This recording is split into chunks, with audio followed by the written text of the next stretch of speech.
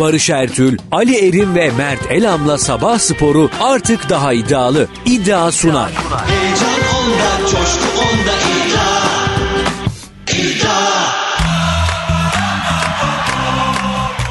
Radyo Spor'dan herkese günaydın. Sabah Spor'una hoş geldiniz. Bugün 27 Haziran 2023. Salı günündeyiz. Saatlerimizde 7.01 gösteriyor.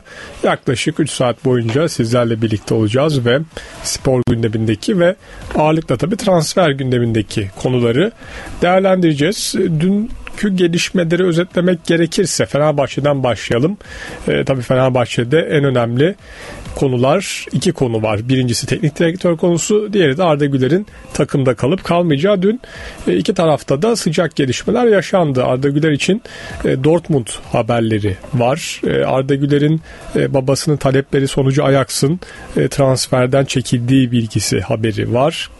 Ve Perşembe günü Arda Güler'le İsmail Kartal'ın bir görüşme yapması muhtemel. Dün Ajans Spor'da Salim Manav bu haberi paylaştı. Bu da sıcak bir gelişme.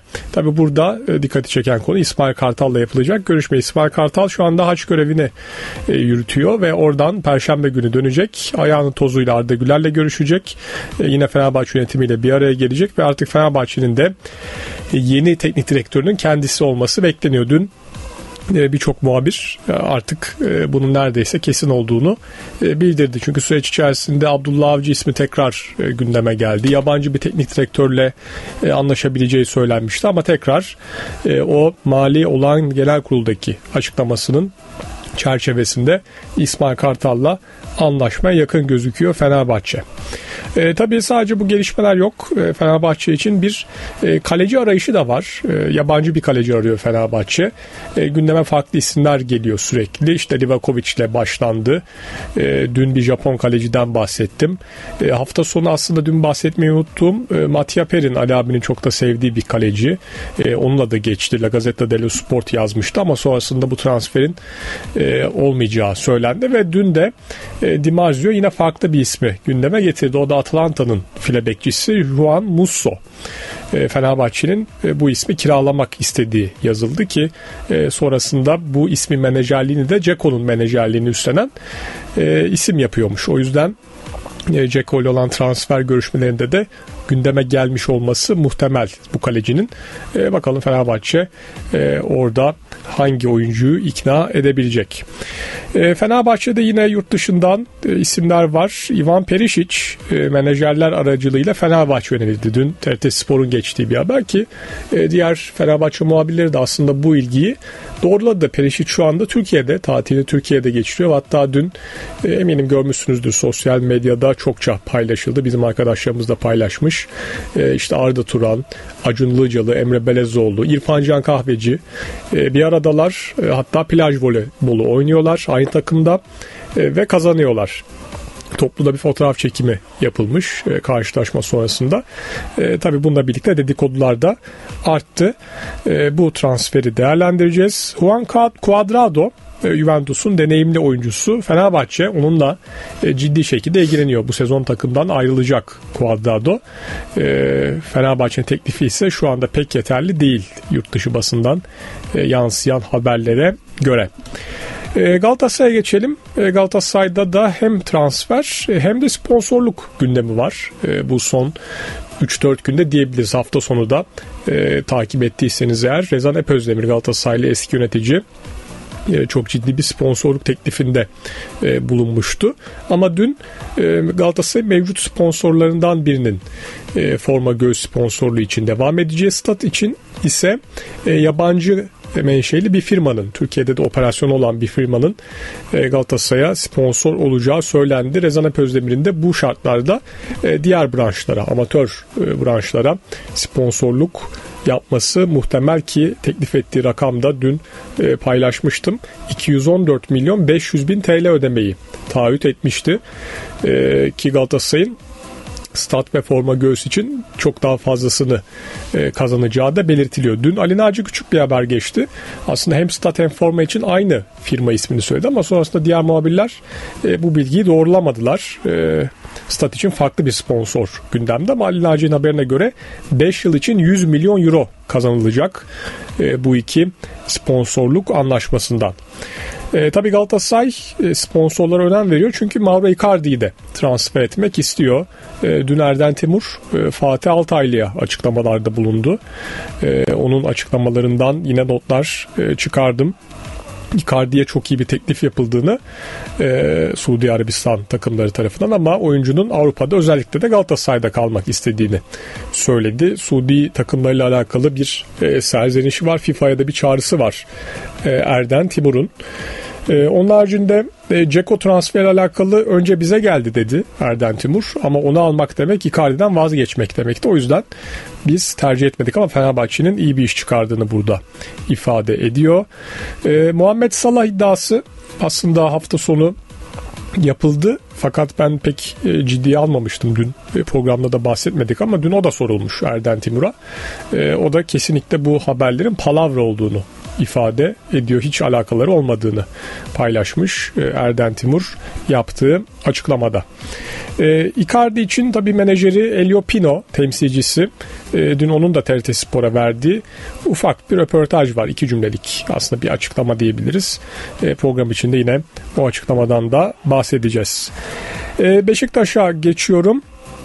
Beşiktaş'ta da e, şu anda gündemde hem bir stoper transferi var e, hem de Nathan Redmond'ın tekrar takıma kazandırılması var. Dün NTV'nin geçtiği habere göre Övünç Özlem e, şöyle paylaştı. Redmond'da 3 yıllığına anlaşma yakın siyah beyazlı ekip e, yakın zamanda bu transferi Beşiktaş'ta resmi olarak açıklayabilir.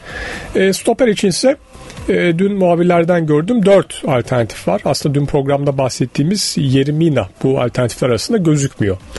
E, bizim muhabirlerin verdiği bilgiye göre ki Mina yurt dışı kaynaklı çıkan bir haberdi dün paylaştım. E, şu anda 4 alternatifi gözüküyor Beşiktaş'ın e, ki bunlardan ikisinin sözleşmesi sona eriyor. İkisinin de e, devam eden futbolcular olduğunu söyleyelim. E, bir de Beşiktaş'ın genç file bekçisi bu sezon 2 lig karşılaşmasında da görev almıştı. Emre Bilgin onun e, takımdan kiralık olarak ayrılması gündemde. E, tabii tecrübe edinmesi için oynayabileceği bir kulübe gitmesi gerekiyor. Gerçi adının geçtiği kulüp Fatih Karagümrük. E, geçen sezon ikinci yarısında birlikte yerli bir kaleci e, Batuhan Şen'i oynatmıştı. E, yeni sezon planlamasında da eğer e, yerli bir isim oynatılacaksa Emre Bilgin'in de oynama şansı var. E, bu da hem Beşiktaş için hem Emre için iyi olacaktır. Ve Trabzonspor e, Bordo Mavili ekipte e, transfer çalışmaları devam ediyor. E, bir taraftan tabi Hırvat isimler gündemde. Bielitsa faktörüyle Oršić ve Petkovic uzun süredir konuşulan isimler ama bir türlü kulüpleriyle e, bonservis konusunda e, anlaşma sağlanamadı. E, o yüzden şimdilik e, Bordo Maviller bonservisi elinde olan futbolculardan ilerliyor. Önce e, Dimitrios Kurbelis'le e, Panathinaikos'un kaptanıyla anlaşma sağlanmıştı. Şimdi de İspanyol bir stoperlen, e, stoperden bahsediliyor. Joaquin Fernandez e, bonservisi e, Valladolid'deydi ama sözleşmesi sona erdi. Küme düştü ve Bordo Mavili ekibin bu isimle e, prensip anlaşmasına vardı. Söylendi işte yıllık ücreti e, paylaşılmış. Trabzonspor'un ikinci transferi e, stopere olacak gibi gözüküyor. E, ve gündemdeki diğer e, gelişmeler işte Sivas Spor'da e, Rıza Çalınbay sonrası Servet Çetin göreve getirildi. Servet Çetin e, o da aslında Rıza Hoca'nın ekibindeydi. E, Rıza Hoca devam etmeyi tercih etmedi. 4 yılın ardından ve e, şimdi de Servet Çetin ki 2019'dan e, bu yana o da Sivas Spor'da yardımcı antrenörlük görevini üstleniyordu. E, şimdi kariyerinde ilk kez bir teknik direktörlük deneyimi yaşayacak. Hatta bakıyorum 2017 Ocak'ta başlamış e, antrenörlüğe ve 6 sene içerisinde teknik direktörlüğe de yükselmiş oldu. E, Adana Demirspor e, ligde teknik direktörü belli olmayan bir diğer takım ama orada da artık eli kulağında diyebiliriz teknik direktör konusunda sıcak bir gelişme yaşandı. E, dün yine Ajans Spor'da Salim Manav e, paylaştı haberi. Patrick Kluivert e, benim gençliğimin e, iyi golcülerinden birisi Saviola ile Barcelona'da müthiş bir ikiliydi. Aslında teknik direktör olarak çok aşina bir isim değiliz kendisine ama Adana Demirspor'un Kluivert'la büyük ölçüde anlaştığını yazmış Salim Manav. Evet. E, Ali abinin çok seveceği ama üzerinde pek fazla durmayacağımız harcama limitleri dün resmen açıklandı. Ee, orada işte kim kaç almış ee, bazı takımlarda çok büyük düşüşler var. Çok büyük e, harcama limiti kazanan sürpriz takımlar var. Ee, onların belki detaylarını paylaşırız. Üzerine çok yorum yapacak bir şey yok. Ee, bir de bu Suudi Arabistan çılgınlığı tabii transferde devam ediyor. Ee, ve FIFA'da e, şöyle bir açıklama yaptı dün. Sene sonundaki Kulüpler Dünya Kupası'nın e, Suudi Arabistan'da düzenleneceğini açıkladı ki e, Manchester City Şampiyonlar Ligi şampiyonu orada olacak. Suudi Arabistan takımı Al Ittihad e, ki Karim Benzema'nın takımı bu turnuvada boy gösterecek. Al Ahli gibi işte toplamda e, 7 takımın e, boy göstereceği bir organizasyon olacak ve Suudiler de buna ev sahipliği yapacaklar. Evet benim dünden çıkardığım bilgiler, gelişmeler bunlar. Şimdi şarkı ve reklam aramızı verelim. Aradan sonra da değerlendirmelere başlıyoruz. Barış Ertül, Ali Erim ve Mert Elam'la Sabah Sporu artık daha iddialı. İddianın sunduğu Sabah Sporu devam ediyor. Heyecan onda, coşku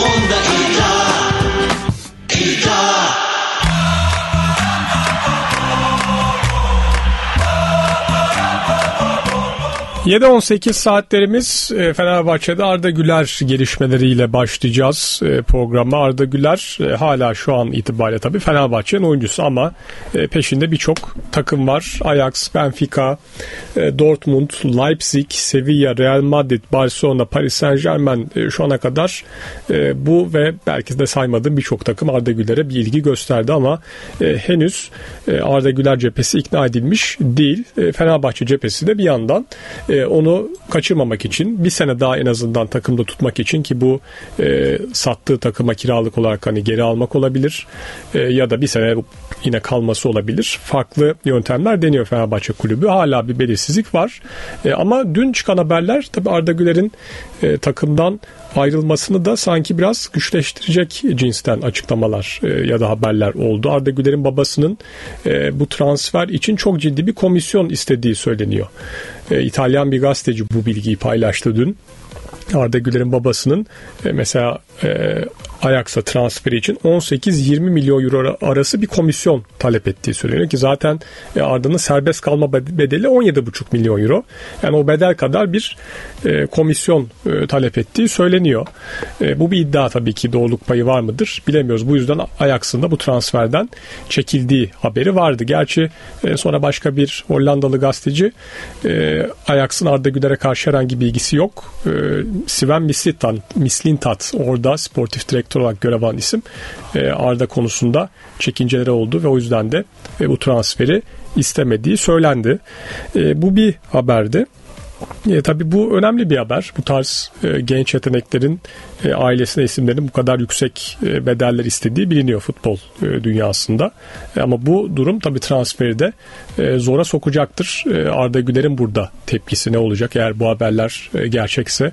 E, çünkü bu tarz durumlarda şunları da yaşıyoruz. E, babasıyla yollarını ayırıp e, daha profesyonel isimlerle de e, yola devam edildiği oluyor. Dün gerçi Salim Manav'ın Ajans Spor'da paylaştığı haberde e, şu bilgi vardı. Şu anda menajerliğini Arda Güler'in Kurtuğan'ın da menajerliğini yapan Christoph Henrotay.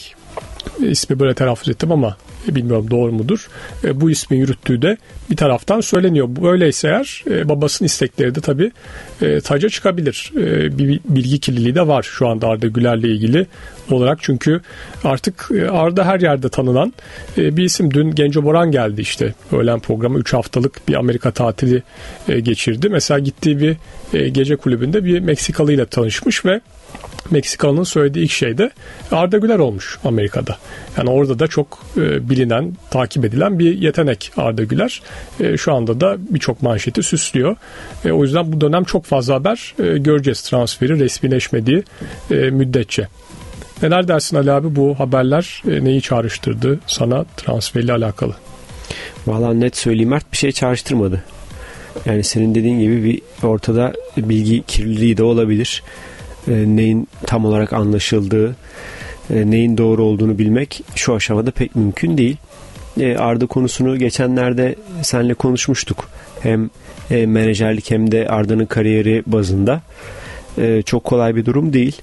Ama işte herkesin Arda'nın kariyeriyle ilgili bir şey söylediği noktada Arda'nın ne, yap ne yapmak istediği ve Arda'nın nerede başarılı olabileceği de yine önemli detaylardan bir tanesi. Onun ben hala e, biraz geri planda olduğunu düşünüyorum. Çünkü hani bir anda işte işte Ajax, e, bir anda Real Madrid e, ya da e, başka bir kulüp konuşuluyor ama e, tamamen farklı organizasyonlar, farklı ligler, farklı stiller, e, çok böyle e, dağılmış durumda bir e, tablo var ortada.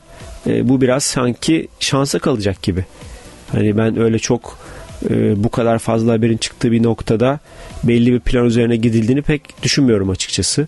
Hani Arda'nın e, oynayabileceği bir kulüp ya da Arda'nın oynayabileceği, daha rahat edebileceği, kendini e, rahat hissedip iyi performans verebileceği bir lig çok öyle şeylerin ön planda olduğu pek gözükmüyor şu aşamada. Aslında hani e, senin dediğini düşününce şimdi mesela Real Madrid transferine pek sıcak bakmadığı söyleniyor Arda Güler'in. Çünkü orada e, direkt olarak oynamasının e, güç olduğu söyleniyor. Aslında hani benim gördüğüm haberlerden o detayı ayırabilirim senden farklı olarak. İşte o söyleniyor. Acaba öyle mi? İnşallah öyledir mesela. Hani öyleyse en azından olumlu bir şey söylemek durumunda oluruz.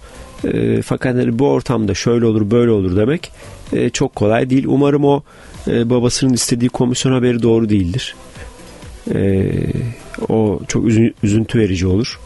E, çünkü yani ilk nihai hedef para kazanmaksa daha 17-18 yaşındaki bir çocuk üzerinden o zaman kariyerin bundan sonrası e, zorlu geçer diye düşünüyorum. Çünkü Arda'nın daha çok transfer var. Daha çok karşılaşma var. E, çok fırsat elde edecek Arda. E, bir de bu yeteneklerle e, Arda çok daha iyisini yapabilir. E, şu an gördüklerimizden umarım o doğru değildir. Yani şu an için e, asıl olan aslında Arda'nın başarısı. E, para belki 3. 4. planda olması lazım. Yani parayı şu an kim düşünebilir biliyor musun? Bana sorarsan.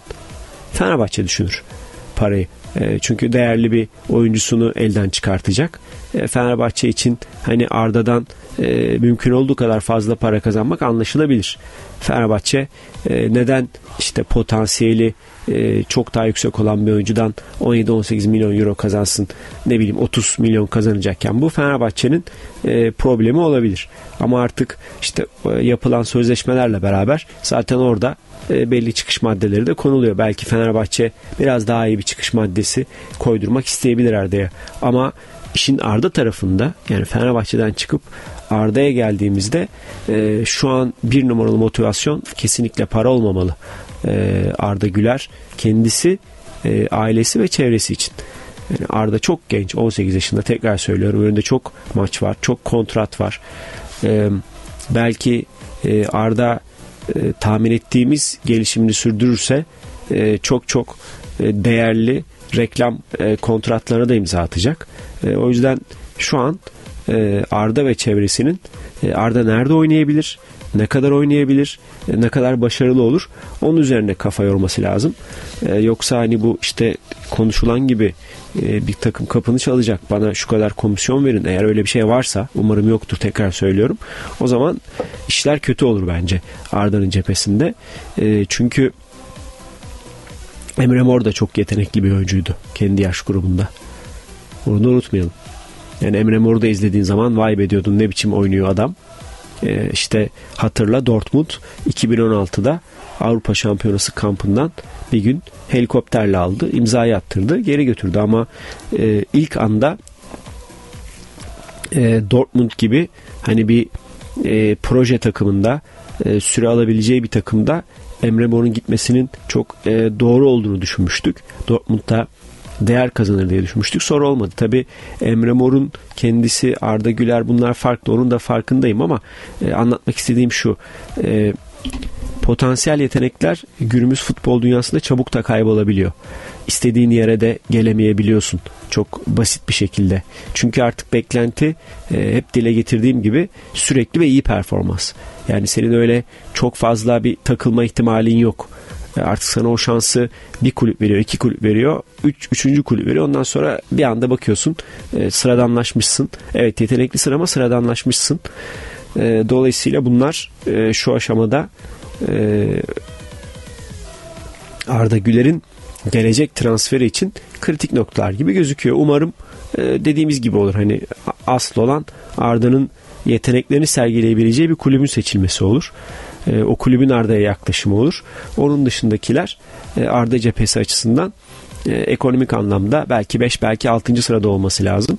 E, Fenerbahçe için de hani Fenerbahçe'nin de sen az önce söyledin e, bir kulübe satılıp Arda'nın bir sene daha kalması e, Fenerbahçe için aslında gü- güzel bir şey olur. Ne derler? Çözüm olur. Bir de Fenerbahçe iyi bir bonservis geliri de elde edebilirse hani zaten taraftarın isteği de en az bir sene daha kal değil mi?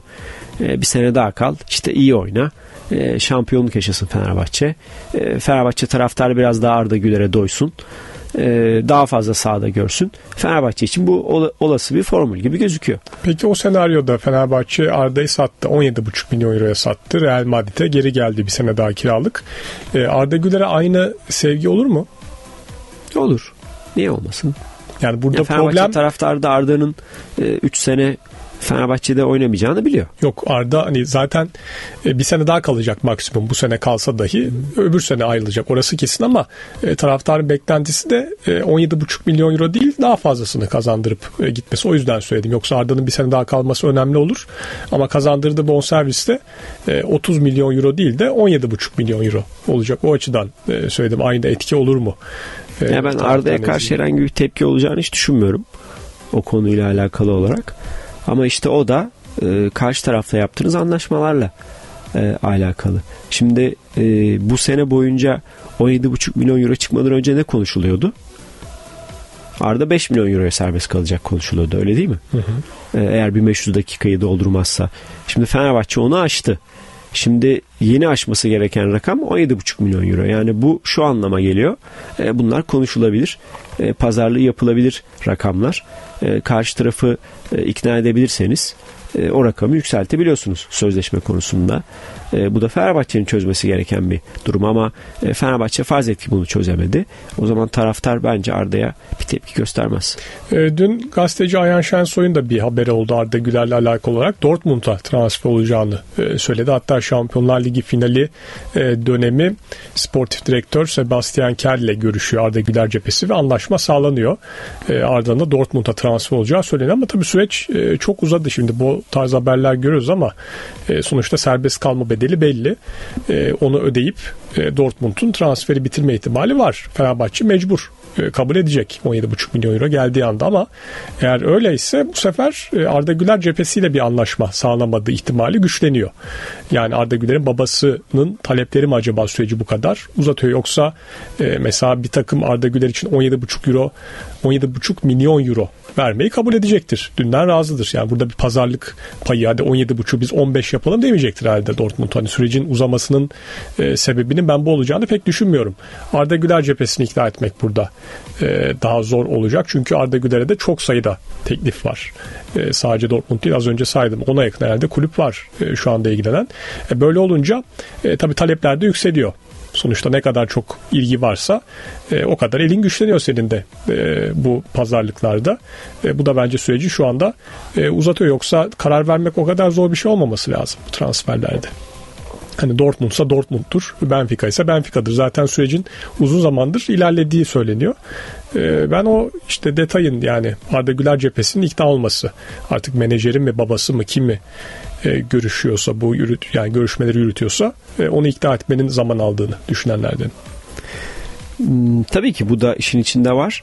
Mesela Haaland e, Dortmund'dan kaç paraya Manchester City'ye gitti? Tam bilmiyorum. Haaland gibi bir oyuncu. 60-70 milyon euroya gitti. 60 ya, ya 60 ya 70'ti. E, yani Dortmund'daki sözleşmesinde Haaland'ın böyle bir bonservis bedeli vardı. Şu an Haaland'ı almak istesen ne kadar e, değerlersin? Herhalde 60-70 milyon euro kadar değerlemezsin. Çok daha fazlasını düşünürsün. En az çarpı 2 dersin. Haaland gibi bir oyuncu. Adam geldi işte e, Premier Lig'de e, bu sezon kırılmadık rekor bırakmadı. Şampiyonlar Ligi'nde keza gol kralı oldu.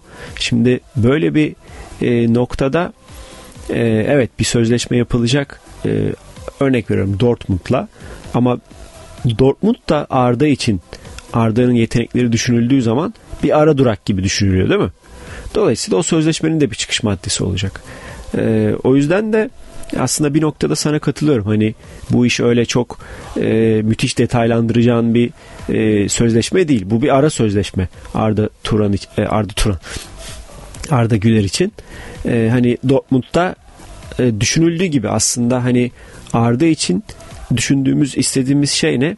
E, bir Avrupa kulübüne gitsin iyi bir kulüp olsun, yarışmacı bir kulüp olsun, gençleri oynatan bir kulüp olsun, Arda süre bulsun, yeteneklerini göstersin, bir sonraki aşamaya geçsin.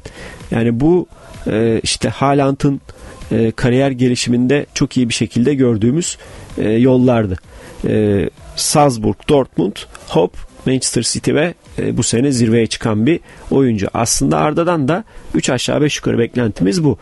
E, fakat işte tekrar söylüyorum yani burada e, Arda'nın e, rahat oynayabileceği bir lig, fazla süre alabileceği bir lig, başarılı olabileceği bir lig, bir de mutlu olabileceği ülke. O da önemli. E, bu detayları hallettikten sonra e, zaten e, hani o sen söyledin ya 10-15 tane kulüp var Arda'nın kapısında. Zaten herhalde büyük ihtimalle bunları hallettikten sonra opsiyonlar 2 ya da 3'e düşecektir. Ondan sonra da bir seçim yapıp yola devam etmek gerekir. E, fakat işte bu gelen haberler biraz can sıkıcı.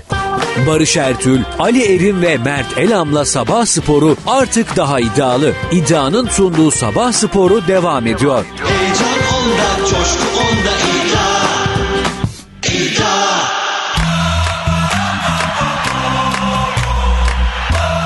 7.39 saatlerimiz. Ee, şimdi Fenerbahçe'de teknik direktör konusuna geçiş yapalım. Fenerbahçe'nin artık yeni teknik direktörü İsmail Kartal diyebiliriz. Dün çıkan haberlere göre İsmail Kartal Perşembe günü ülkeye dönecek ve e, takım 2 Temmuz'da kampa başlayacak futbolculara da bildirim gitmiş e, ve takım başında da İsmail Kartal olacak ama henüz resmi açıklama yapılmış değil.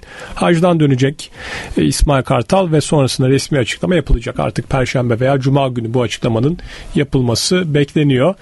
Ki e, çıkan habere göre İsmail Kartal döner dönmez Arda Güler'le de bir araya gelecek. O tarihe kadar eğer Arda kararını vermemişse ki süreç hala bitmiş değil. Arda kararını vermiş gibi gözükmüyor. E, İsmail Kartal da son bir görüşme yapacak ve Fenerbahçe'de kalmaya ikna etmeye çalışacak Arda Güler'i.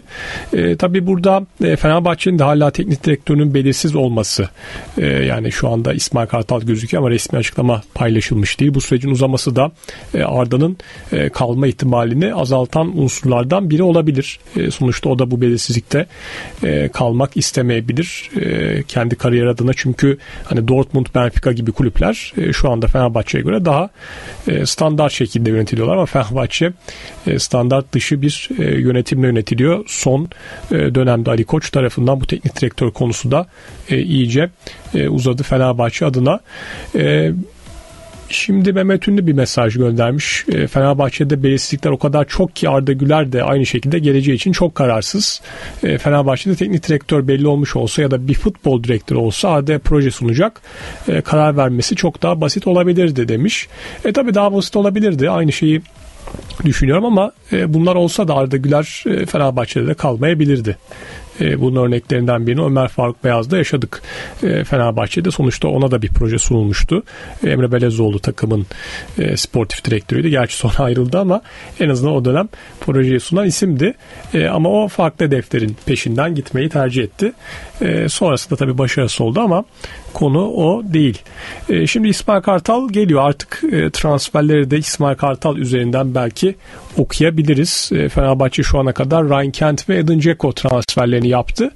E, ki ikisi de yabancı isimler e, ki yine basında adı geçen oyunculara baktığımızda onların da çoğunun yabancı olduğunu görüyoruz. E, şu yüzden söylüyorum Fenerbahçe eğer Arda Güler'i de e, gönderirse ilk 11'deki 3 yerli konusunda acaba sıkıntı yaşar mı? E, Fenerbahçeli e, isimlerden e, takip ettiğim kadarıyla böyle bir problem olabileceği de söyleniyor. Buna kafa yorulmuş. E, çünkü kaleye de bir yabancı transferi söz konusu Fenerbahçe'de. İrfan Can Eribayat'la sözleşme imzalandı. Altay'la uzatılmıştı ama e, Altay'ın e, takımdan ayrılma ihtimali güçlü şu anda. Yabancı bir kaleci gelirse hele kesin takımdan ayrılacak. E, o yüzden kale yabancı olacak. E, stopere bir yabancı isim düşünülüyor. E, Beka ismi çok e, sıcak e, Fenerbahçe için. E, zaten partneri ya Salah ya Luan Perez olacak. Orada bir yabancı isim var. E, Ferdi Kadıoğlu e, yerlilerden herhalde en garanti olan o şu anda eğer takımdan ayrılmazsa e, ki en az bir sene daha takımda kalacağı söyleniyor Ferdi Kadıoğlu'nun. E, Ferdi'nin e, forması garanti ama sol beke yatırım yaptıkları isim e, yabancı Osterwolde. E, Luan Perez de oynasa orada bir yabancı olacak. Ara e, şu anda hani Jesus döneminde İsmail Yüksel'e göre daha fazla forma şansı bulmuştu. E, onun önündeki isim e, Crespo olabilir. E, geçen sezonu çok iyi başlamıştı. Zayt kalabilir takımda. Hani Mert Hakan Yandaş var ama bu iki ismin önüne geçer mi tartışılır. E, Arda gidiyor. İrfan Can Kahveci orada doğal bir aday olur. E, Fenerbahçe'de hani 4-1-3-2 bu Jesus düzeni dizersek ileride zaten e, yabancı forvetleri var. Ceko Batshuayi. E, sol tarafa da Kent alındı. Kent olmazsa Zaha e, geleceği söyleniyor. E, yine yabancı isimler üzerinden gidiyor ama Fenerbahçe'nin bir yerde de o ekstra yerliği bulması gerekecek. E, bakalım onu nerede kullanacak? İsmail Kartal'ın e, planlaması, Fenerbahçe yönetiminin planlaması ne şekilde olacak? Çünkü hani stoper geldiği anda Samet e, Serdar e, taca çıkıyorlar. Orta sahada dediğim gibi bir e, sıkıntı olabilir. E, Fenerbahçe'nin e, bunu da yeni sezon için iyi hesaplaması gerekiyor. Aslında yerli konusunda en avantajlı kulüplerden e, birisiydi Fenerbahçe. Yani bu sezon 3 büyükleri kendi içinde değerlendirsek e, Beşiktaş Şenol Güneş'le birlikte o konuda rahatladı ama sezon başında e, sıkıntılıydı. Galatasaray zaten uzun bir süre sıkıntı yaşadı. Fenerbahçe o konuda Avrupa maçlarında da yanılmıyorsam hiç ilk 11'de e, hani iki Türk de çıkmadı. Hep minimum üç Türk'ü bulmuştu. Ki e, gerek olmadığı organizasyonlarda dahi bunu buluyordu Fenerbahçe ama bu sezon e, bu transferlerle birlikte e, Fenerbahçe'nin de işi e, zorlaşabilir. E, kaleci demişken e, yabancı bir kaleci e, Perin haberi yapıldı. Juventus'un file bekçisi La Gazzetta dello Sport paylaştı. E, sonrasında e, olmadığı söylendi bu transferin. Farklı isim gündeme geldi. Atalanta'dan e, Arjantinli file bekçisi Juan Musso. E, kendisi Arjantinli ama Dünya Kupası kadrosunda da yer almamış. E, bu bir soru işareti midir Ali abi sence bilmiyorum ama hani Fenerbahçe'nin o aradığı garanti file bekçisi Musso mu sana o şeyi veriyor mu? Işığı veriyor mu? Valla oyuncuyu çok yakından tanımıyorum Mert. Ama Dünya Kupası kadrosunda olmaması demek çok ciddi bir dezavantaj anlamına gelmez. E, sonuçta birçok oyuncusu var Arjantin ve Brezilya'nın dünya liglerinde e, milli takıma seçilemeyen çok büyük bir problem olacağını düşünmüyorum Fenerbahçe. Ama hani şu açıdan söyledim. Hani e, mesela Brezilya'da milli takıma seçilemezse çok büyük bir problem değil. Sonuçta Alisson, Ederson gibi iki önemli isim var ama Arjantin'de yıllardan beri müthiş bir kaleci rotasyonu olmadığını biliyoruz. Hani orada üç isim arasına girememesi. Eğer bir sakatlığı yoksa tabii ben sakatlığı varsa o kısmı es geçmiş olabilirim. Normalde kadroda hep yer almış e, süreç içerisinde. E, fakat toplamda iki maçı var. E, Arjantin formasıyla bir 90 dakikası bir 23 dakikası var. Ama Dünya Kupası'nda da kadroda yer almamış. Dediğim gibi belki bir sakatlığı da olabilir. Şimdi burada atıp tuttum ama e, onu da bir kontrol edeyim. E, yok aslında bir sakatlığı da yokmuş. Tercih. O dönemde e, Atalanta'da mesela Dünya Kupası öncesi son maçta forma şansı bulmuş. Inter karşısında 90 dakika oynamış tercih meselesi. O yüzden söyledim hani bu kadar güçlü bir rotasyon yokken girememesi bir problem olur mu? Çünkü diğer tarafta adı geçen Livakovic Hırvatistan milli takımının birinci kalecisi. E, piyasası yüksek ama Musso pek e, o tarz bir isim değil. Ama Hırvatistan'da da öyle müthiş bir kaleci e, şeyi yok, rotasyonu yok. Hırvatların şu an uçan kaçan bir kaleci rotasyonu var mı? İşte yok. Zaten evet. Livakovic varken olmaması da normal değil mi? Hayır. Şöyle. Yok yani Livakovic çok üst düzey bir kaleci değil. İyi bir kaleci ama çok çok üst düzey bir kaleci değil Livakovic. E, Livakovic öyle düşünüldüğü kadar üst düzey bir kaleci olsa e, çoktan o transferi yapardı kariyeri boyunca. O yüzden de hani bazı oyuncuları e, sadece milli takım üzerinden değerlendirmek bana pek doğru gelmiyor. E, bazen olabiliyor böyle şeyler. Hocayla sıkıntısı oluyor. E, takımda başka arkadaşlarıyla sıkıntısı oluyor. Önünde iyi oyuncular oluyor. Olmayabiliyor milli takım. Öyle değerlendirmemek lazım ama hani Fenerbahçe'de ben şu an yapılan haberlerin çoğunun boş olduğunu düşünüyorum. Ali abi daha Temmuz'a gelmedik. O yüzden bu haberler devam edecek. Yani Edecek de yani bo- boş, bir boş, şey yok. boş haberler yani bunlar. E Peki yabancı O kaleci öyleydi, düşünmüyor mu böyleydi. Fenerbahçe? Efendim? Yabancı bir kaleci düşünmüyor mu sence? Yabancı- Altay'la mı devam edecek? Bilemiyoruz. Yani o bile soru işareti. Çünkü şimdi az önce sen nasıl e, konuştun?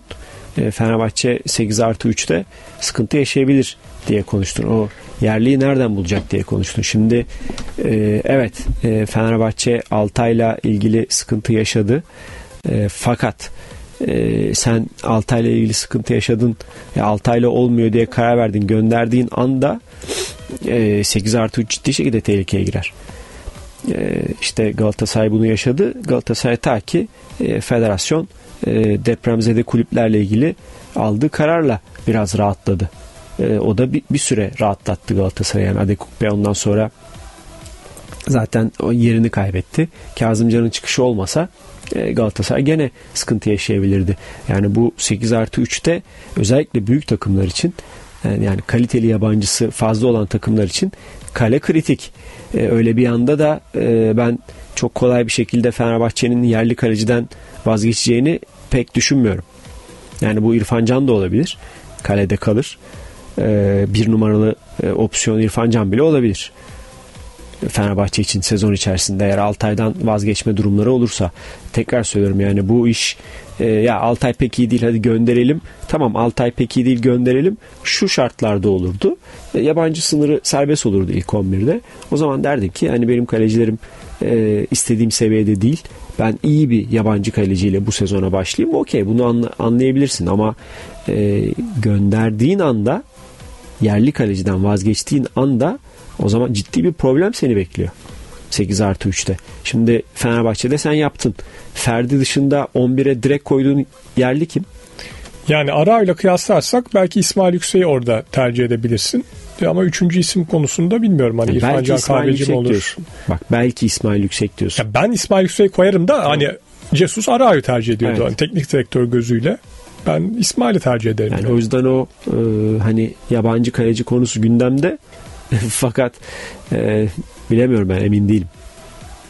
Ama şimdi Fenerbahçe'de işler nasıl yürüyor Ali abi? Ee, son Pek yıllarda. yürümüyor. Şu yani bir şekilde yürüyor hani sonuçta transfer yapıyorlar. Ligde mücadele ediyor Fenerbahçe. Hani belli bir eleştiri yapılıyor Fenerbahçe'de ve onun telafisi düşünülüyor. İşte yabancı güçlü bir teknik direktör istendi. Ee, o geldi.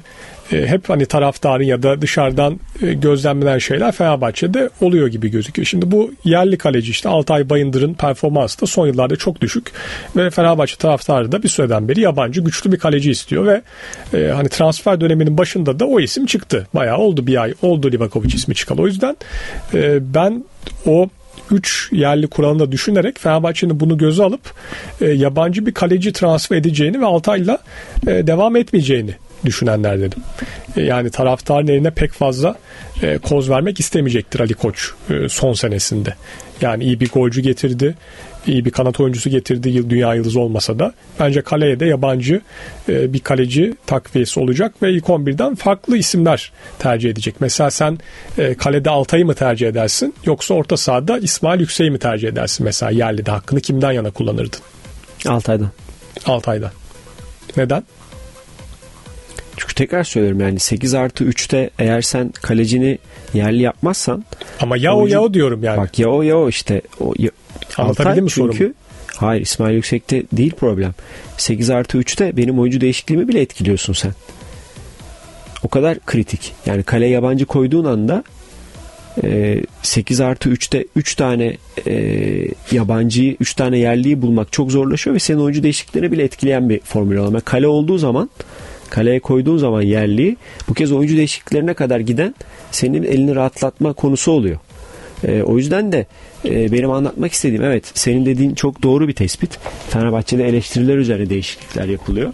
Bu sene de yapılabilir. Ama yapılırsa bu doğru olduğu anlamına gelmez ve Fenerbahçe'nin de problemleri çözeceği anlamına gelmez. Şöyle bir formülü böyle düşünüyor olabilirler. Yani İrfan Can'ın birinci kaleci olduğu e, Altay'ın senin dediğin gibi transfer olduğu başka bir kulübe e, İrfan Can'ın arkasına biraz daha tecrübeli e, bir kaleci bile düşünülebilir. Hani çok üst düzey bir kaleci değil. Yerli mi yabancı? Yabancı.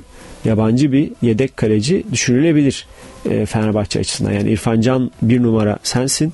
Senle başlayacağız sezona ama oldu ya işte istediğimiz gibi gitmedi. O zaman e, yabancı tecrübeli kaleciye dönülme hesabı olabilir. E, aynı zamanda Fenerbahçe Avrupa kupalarında da mücadele edecek. Avrupa kupalarında da o kaleci değerlendirilebilir. E, bir sınır olmadığı için. E, bunlar öyle hani taraftarın sosyal medyadan ya Altay olmuyor, İrfan Can yetersiz, e, işte bu ikisini gönderin, yerine adam gibi bir kaleci alın, enter e, demek demesiyle olmuyor. Senin elinde e, yerli opsiyonu bol olur. E, seni e, sıkıntıya sokmayacak yerli opsiyonu bol olur. O zaman e, tamam o hareketi rahat rahat yapabilirsin ama elinde öyle bir opsiyon yokken e, neredeyse bu aslında e, şey için de geçerli. E, yani Beşiktaş'a bak Mert ve Cenk diyorsun kesin. Üçüncü Salih. Salih. İşte Ya da Onur Bulut. pek beğenilmeyen Salih. İkinci yarıda bir anda ortadan kaybolan Onur Bulut.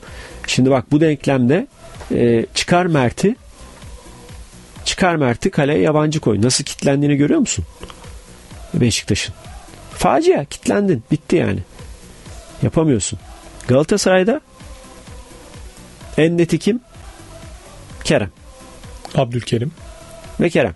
İkisi. Hı hı. Abdülkerim. Üçüncü? Kim üçüncü? Kazımcan işte. Galatasaray sol bek arıyor mu? Arıyor. Yabancı arıyor şu an. Yabancı sol bek arıyor. Nasıl arıyor Galatasaray yabancı sol bek? Bence Şampiyonlar Ligi'nde düşünüyor Galatasaray o arayışında. Yoksa e, Galatasaray'da e, üçüncü yerli için e, bir opsiyon yok. Yok. Yani Kazımcan dışında bir opsiyon yok. Sağ stoperi mi yapacak Galatasaray? Sağ beki mi yapacak? Yerli. Hayır.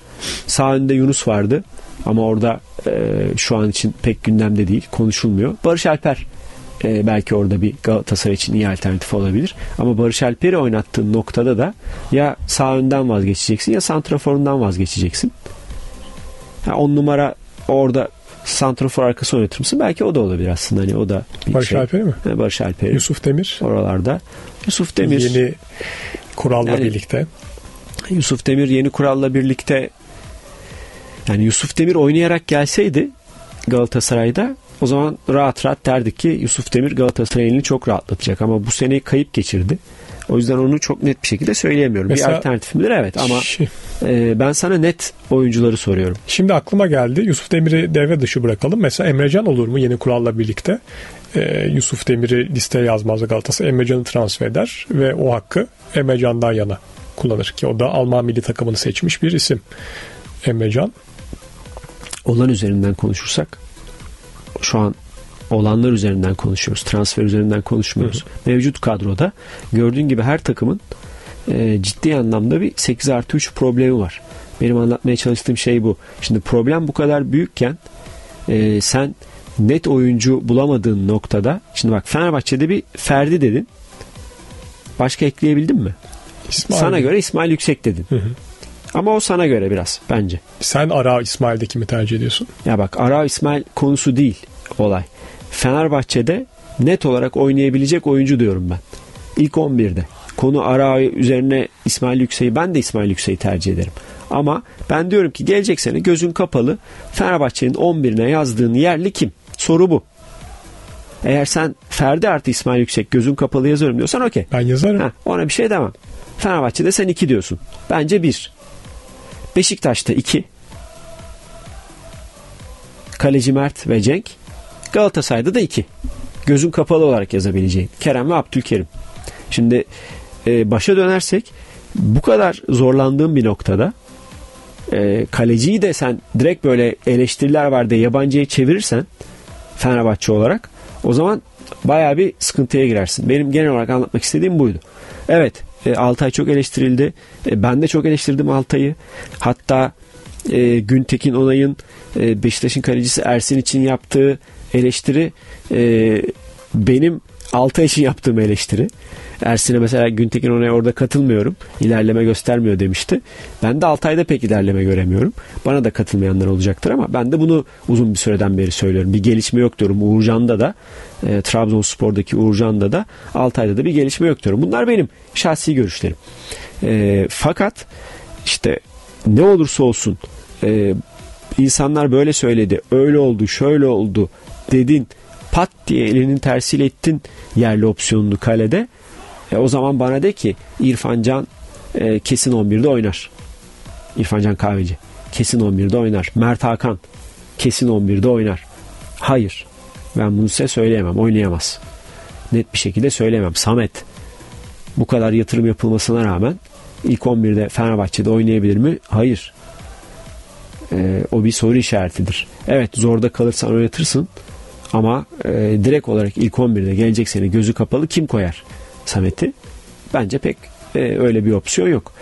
E, neticede e, bu işte 8 artı 3'ün en büyük sıkıntısı e, bu oluyor ne yazık ki.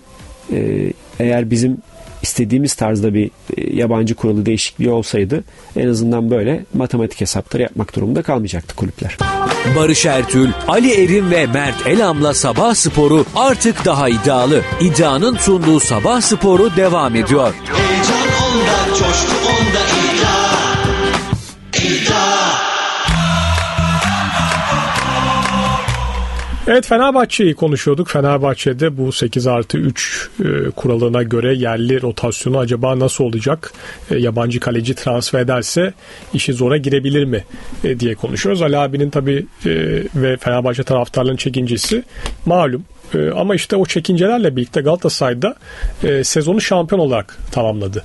Mesela Ali abi işin o boyutunda düşünmek e, gerekmez mi? Galatasaray'ın da kalecisi yabancıydı ve Galatasaray e, kalede en azından Altay'a göre ki Muslera da sezon sonuna doğru eleştirildi ama e, daha güven veren e, bir performans gördü.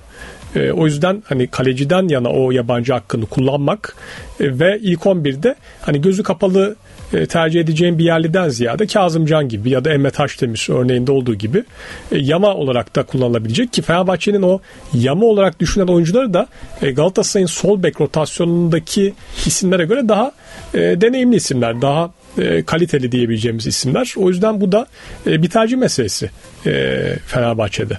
Bu da işin diğer boyutu. Yani Evet. Sonuçta o yöntemle de Galatasaray şampiyon oldu. Senin dediğin çekinceler malum. Ben de katılıyorum ilk 11'de oyuncu değişikliği konusunda büyük e, sıkıntılar olacak. Kaleden eğer e, o hakkı alırsan e, kaleyi yabancıya teslim edersen ama işte Galatasaray'da sezon boyu e, işte Muslera acaba yedek olur mu? Okan oynar mı yerine? Bunlar hep konuşuldu sezon başında ama e, ona pek ihtiyaç duymadan Galatasaray e, farklı opsiyonlarla ilk 11'de Fakat işte ben hala üç yerliği buldu. Beşiktaş ve Galatasaray'dan farkının e, net 2'yi bulamadığı olduğunu düşünüyorum Fenerbahçe'nin. Fenerbahçe'nin iki de problemi olduğunu düşünüyorsun. Evet. orada pek katılmıyorum İsmail Yüksek konusunda. E, burada da belki e, çok kaliteli bir yerli opsiyon e, transferi söz konusu olabilir e, Fenerbahçe'de. Mesela sağ öne bir yerli işte Cengiz Ünder e, ya da stopere bir iyi yerli ya da orta saha iyi bir yerli. Gerçi hani kimi getirsen e, getir çok e, kabul görmeyecektir yerli olarak. Çünkü yerliler e, pek bizde e, kabul görmüyor. Hani mesela Beka'ya çok kimse itiraz etmiyor ama onun yerli muadilini getirdiğin anda orada da haksızlık etmiyor muyuz diye düşünüyorum bazen. Öyle bu, bu iş böyle hep böyle. Sen hani İrfan Can'a şimdi sen de burun kıvırıyorsun ben de kıvırıyorum ama acaba haksızlık mı ediyoruz? Yani gelecek yabancının ondan daha iyi olacağı e, kesin mi ki biz e, Mert Hakan'a ya da İrfan Can'a burun kıvırıyoruz? Ya kesin değil de yani bu oyuncuların da e, Fenerbahçe kariyerleri boyunca e, verdikleri veremedikleri ortada. E, iki kere iki dört. E, şimdi e, Mert Hakan Yandaş Fenerbahçe'ye geldiğinden beri e, futbol oynamaktan e, daha farklı şeyler yaptı. E, İrfan Can Kahveci de e, tüm yeteneklerine rağmen bir türlü beklentileri vermedi. Beklentileri karşılayamadı. Şimdi e, senle sürekli tartışma halinde olduğumuz gündeme gelen bir konu var. E, seyircilerin oyunculara tepkileri. Değil mi? E, biz buna özellikle maç oynanırken e, karşıyız. Rahatsızlık veriyor. Ama şöyle de bir gerçek var. Ben hala o düşüncedeyim. Seyircilerin tepkisi konusunda ama seyircinin de e, bir oyuncuya tepki göstermesi durduk yere olmuyor. Yani seyirci de bazı şeyleri görüp e, ona göre bir tepki veriyor oyuncuya karşı. E, buradaki tek istisna bu sene gariban Arao'nun başına gelendi. E, bir röportaj dolayısıyla bir tepki gördü Fenerbahçe taraftarından. Onu bir istisna olarak kabul ediyorum. Zaten o da sürekli olmadı ama e, bir büyük takım taraftarından sürekli tepki gören oyuncunun da e, bazen dönüp aynaya bakması gerekiyor. Her ne kadar onu maç içinde yapmak e, doğru olmasa da taraftar açısından ama taraftar da bazı şeyleri gördüğü için o tepkiyi veriyor. İrfan Can da tepki gören bir oyuncu. Bunu kabul etmek gerekiyor. Yani İrfan Can'ın vaat ettikleriyle yapabilecekleriyle yaptıkları arasında ciddi fark var. Şimdi iki tane kırmızı kart gördü. Ee, çok gereksiz iki tane kırmızı kart. Ee, Galatasaray maçında kırmızı kart gördü. Sivas maçında kırmızı kart gördü. Durduk yere her karşılaşmada e, neredeyse bir tane sarı kartı cepte İrfan Can'ın. Ondan sonra e, sert fauller yapıyor. Tam tersi kendini kolay bırakıyor. E bunun yanında üretkenlik konusunda evet zaman zaman güzel goller, şık goller atıyor. Ama fakat e, servis, oyuna katılma, e, oyunu yönlendirme e, o konularda İrfan Can eksik kalıyor. O yüzden e, evet çok yetenekli oyuncu ama e, bizim seninle bu tartışmamızın çıkış noktası e, sürekli olarak İrfan Can'dan ben bu kadar uzun sezonda e, verimli performans alabilecek miyim? İstikrarlı performans alabilecek miyim? Bence net şekilde hayır. Mehmet Hak e, Mehmet e, Mert. Mert Hakan hayır. E, değil. Yani bu oyuncular gelecek sene belki İsmail Kartal diyorsun şimdi onda onda da göreceğiz. E, açıklayacaklar mı, açıklamayacaklar mı Fenerbahçe cephesi.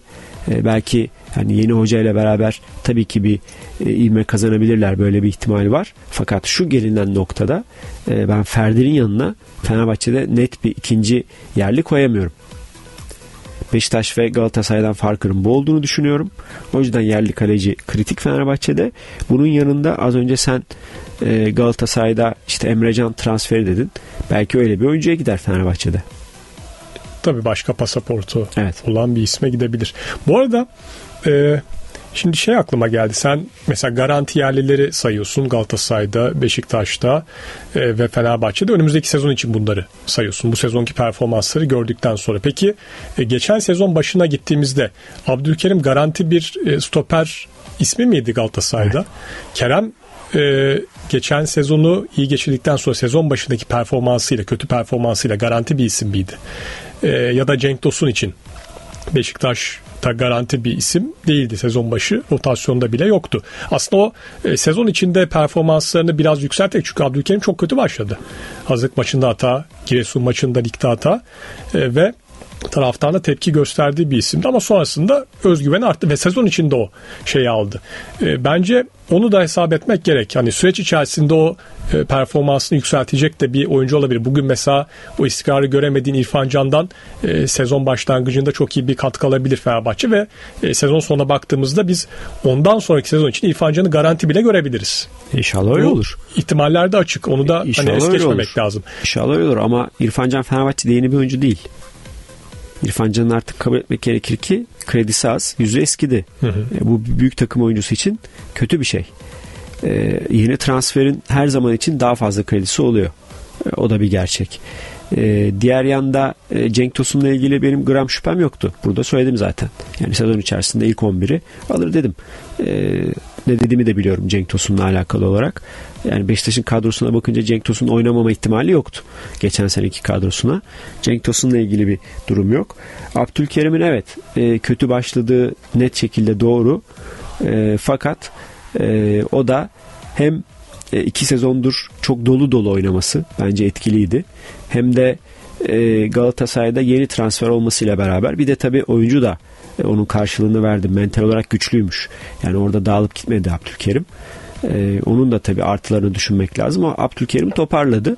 Evet senin dediğin ihtimaller dahilinde her zaman için e, böyle bir ihtimal var. Belki hani şu an benim e, çok böyle e, olacağını düşünmediğim İsmail Yüksek. Az önce sen söyledin. Geçen sene Belki- çünkü hiç Evet. planda yoktu adam. Belki e, Ferdi ve İsmail Yüksek'i hiç gözün kapalı düşüneceksin. Bunlar ihtimaller dahilinde ama ben hala sıkıntı olduğunu düşünüyorum. Ee, bir de Fenerbahçe'deki ben yerli isimleri tek tek e, sayayım. E, sonuçta şu ana kadar bahsetmediğimiz yerliler de oldu Fenerbahçe'de. Kaleci rotasyonda şu an itibariyle Altay, İrfan Can ve Ertuğrul var. E, savunma hattında Samet Akaydın ve Serdar Aziz olduğunu görüyoruz stoper rotasyonunda. Bek'te Ferdi Kadıoğlu ve Nazım Sangare var ki Nazım Sangare'yi belki birçoğunuz da unuttu. Bir yıl daha sözleşmesi var e, Fenerbahçe ile ama e, orada bir alternatif olur mu? Olursa da herhalde kuralla birlikte bu alternatif olacak e, Nazım Sangare. E, bir de stopere Emir Ortakaya gelecek. E, Göztepe'de kiradan e, dönüyor kendisi ki Göztepe'de de sürekli oynadı. E, potansiyeli de bir oyuncu olduğu söyleniyor. Ümit Milli takımda da forma giyiyor. Solak bir oyuncu. E, o da bu sezon e, rotasyonda kalabilir ya da bir sene daha da kiraya verilebilir. Ama ben ismini geçireyim. E, orta saha geçtiğimizde İsmail Yüksek, e, Mert Hakan Yandaş, İrfan Can Kahveci ve Emre Mor alternatiflerini görüyoruz. E, kiradan dönecek isimler var ama rotasyonda pek şans bulamazlar bence şu aşamada. Emre Demir ve Burak Kapacak da yine Fenerbahçe'nin bonservisi oyuncuları. E, hücum hattında da şu anda Serdar Dursun gözüküyor. E, kiradan dönecek herhangi bir yerlisi yok Fenerbahçe'nin. Hani yerlileri bu şekilde şu aşamada e, kaçırdığım bir oyuncu olduğunu pek düşünmüyorum. Kiradan dönenlere de çünkü e, baktım. E, transferde adı geçen bir yerli var mı Fenerbahçe'de son dönemde? Bugün benim notlarım arasında yok hiç yerli bir isim. Genelde yabancı isimler var. Yerli olarak teknik direktörü söyleyebiliriz ama mesela daha konuşmadığımız Ivan Perisic e, menajerler aracılığıyla Fenerbahçe önerildi ki son olarak Tottenham'da forma giyiyordu. Artık bir e, kanat beki hatta bek gibi oldu yani Ferdi'nin gelişimi gibi. E, Hırvatistan'da son iki maçta sol bek oynamış. Evet yalnız Mert az önce biz bir hata yaptık mı? Mesela Emrecan'ı transfer ettiğin zaman e, 8 artı 3'ün içinde mi sayacağız? 8 artı bir Emrecan olacak işte. Yani iki tane Yerli değil ama Adekugbe gibi Maxim gibi değerlendirecek yani. ama gene 3 tane yerliysen oy- oynatmak zorundasın seçme. Hayır. Değil mi? Hayır işte. Kafam karıştı. 8 yabancı. Sekiz Artı yabancı. işte Adekugbe nasıl oynadıysa, Maxim nasıl oynadıysa geçen sezon yabancı olup yerli gibi oynadıysa e, bu tarz isimler de Yusuf Yani Demir, onlardan Emrecan da- biri geldiği zaman 9 9 tane diyelim. Evet. 9 Onunla yabancı birlikte diyelim. 9 olabiliyor. Tamam şimdi çünkü şu açıdan söyledim. Sen söylerken Fenerbahçe için yerli bir oyuncu gündeme gelmedi dedin. Dün çıktı galiba Şukurov değil mi? Çıktı mı? Çıktı. Onu okudum ben. Fenerbahçe. Fenerbahçe için. Ee, birden o aklıma geldi. Onu söyleyeyim dedim. Şukurov. Ee, Şukurov olduğuna emin misin? Evet. Allah. Allah. İlginç. Dün Çünkü bizim- dün ha, şeyi gördüm ben. Dün yine senin Rıdvan Aksu'nun e, Evet, tweetini gördüm. Şey ama o şey yazmış hani daha üst düzey Özbekler. İşte Shomurodov e, bir golcü vardı Roma'nın golcüsü. İşte o niye acaba e, Türk takımlarının gündemine gelmiyor demişti. Bir isim daha söyledi yine Özbek milli takımın oyuncusu. Onu çok tanımıyorum ama e, Şukurov'u görmemiştim ama şimdi Şukurov'a baktım e, Fotomaç gazetesinin haberiymiş. E, dün paylaşmışlar. Karagümrük forması giyen Şukurov'u transfer listesine eklediği kaydedildi. E, Şukurov ama hani bu saydığımız isimlerden daha garanti bir isim mi? Şukurov ilk 11 için. Yok garanti diye söylemedim. Gündeme Yok, geldi hani sen söyledin ya az önce. O da ben görmemiştim. E, senin uyarmanla birlikte o haberi de gördüm ama o da tabii yerli değil ama yerli gibi oynayabilecek e, bir isim. E, Fenerbahçe için bir de Cuadrado ismi gündemde. E, yani hani Perisic konuşuyorduk en son. E, Perisic'i tabii hangi bölge için düşünecek e, Fenerbahçe şu anda oynadığı düzende e, hani üçlü bir savunma anlayışı olsa kanat beki olarak Perisic önemli bir isim. E, sol beke evriliyor yavaş yavaş. Milli takımda sol bek oynamaya başladı ama e, Fenerbahçe sol bek için mi yoksa sol açık için mi düşünecek? Ivan Perisic'i sol tarafa e, Ryan Kent'i aldı. Zaha ile ilgileniyor. E, onu da tabii şimdiden kestirmek güç. E, hangi bölge için düşünüyor. Çünkü Osterwolde e, büyük ihtimal güvenmez ilk 11 bazında geçen sezonki performansından sonra. E, Ferdi'yi sağ kanatta kullanmayı tercih edecektir. E, Luan Perez de tam bir e, sol bek değil. E, stoper tandanslı bir e, sol bek İsmail Kartal eğer tabi orada düşünürse bilemem. E, ama hani Perisic sanki şu anda sol bek için düşünebilecek bir isim gibi geliyor bana. Perisic kanat peki. E, Ferdi kanat peki. E, ileride ikili. Ceko ve e, Batshuayi. Üçlü bir savunma. Mis. Fenerbahçe için. 3-5-2 gibi Evet. bir düzen. 3-4-1-2, 3-5-2. Takıma bakarak mı bunu söylüyorsun? Yani Ivan Perisic'i alıp sol bek oynatmak yerine en iyi olduğu yerde e, kanat beki mevkinde oynatabilirsin. Ferdi de orayı iyi oynuyor. İki tane santrafor kullanırsan Ceko'nun işine gelir. E, çok elde santrafor havuzu da geniş. E, bir tane iyi bir on numara çıkartabilirsin. Her zaman için Arda Güler var. İrfan Can orada oynayabilir. E, ondan sonra hatta o bölgeye zorlasan Joshua King'i bile koyarsın. E, eğer e, sıkıntı yaşarsan e, oyuncu konusunda. Burada şu an 8 artı 3'ten bağımsız söylüyorum bunu. 3 stoperin e, rahat rahat buluyorsun bence Luan Perez opsiyonu yüzünden. 3 stoper olduğu zaman Samet'in oynama ihtimali artıyor. E, merkezde de yine iyi bir ikili bulabilirsin. E, Fenerbahçe Üçlü. açısından. Yo hani bir tane 10 numarayı koyduğum için önüne Sen onların. on numara sevmezsin. 1-6-2-8 tercih edersin. Ya öyle de üçlü oynuyoruz şu an. Üçlü oynuyoruz. Dörtlü oynasak senin dediğin gibi üçlü oynadığın zaman hani iki tane e, merkezi tutacak oyuncu bir tane de serbest oyuncu düşünebilirsin. On numara olmasa da. Onu düşünebilirsin yani Fenerbahçe bu şekilde de oynayabilir. Ivan Perisic tabii ki sol bek de oynar. E, ama yani sol bekte Osterwolde'ye bu kadar yatırım yapmışken de onun üzerine bu kadar yaşlı bir oyuncu almak çok kısa süre içerisinde mesela bu hani bir iki senelik bir operasyon olur. Osterwolde'den artık verim alamayacaksındır. O yüzden oraya tecrübeli bir oyuncu e, düşünürsün de 6 ay içerisinde de bu kadar e, şeyler uçlara savrulmak da bayağı Fenerbahçe açısından işlerin kötü gittiğinin göstergesi olur bence. Barış Ertül, Ali Erin ve Mert Elam'la Sabah Sporu artık daha iddialı. İddianın sunduğu Sabah Sporu devam ediyor. Heyecan onda, coşku onda iddia. İddia.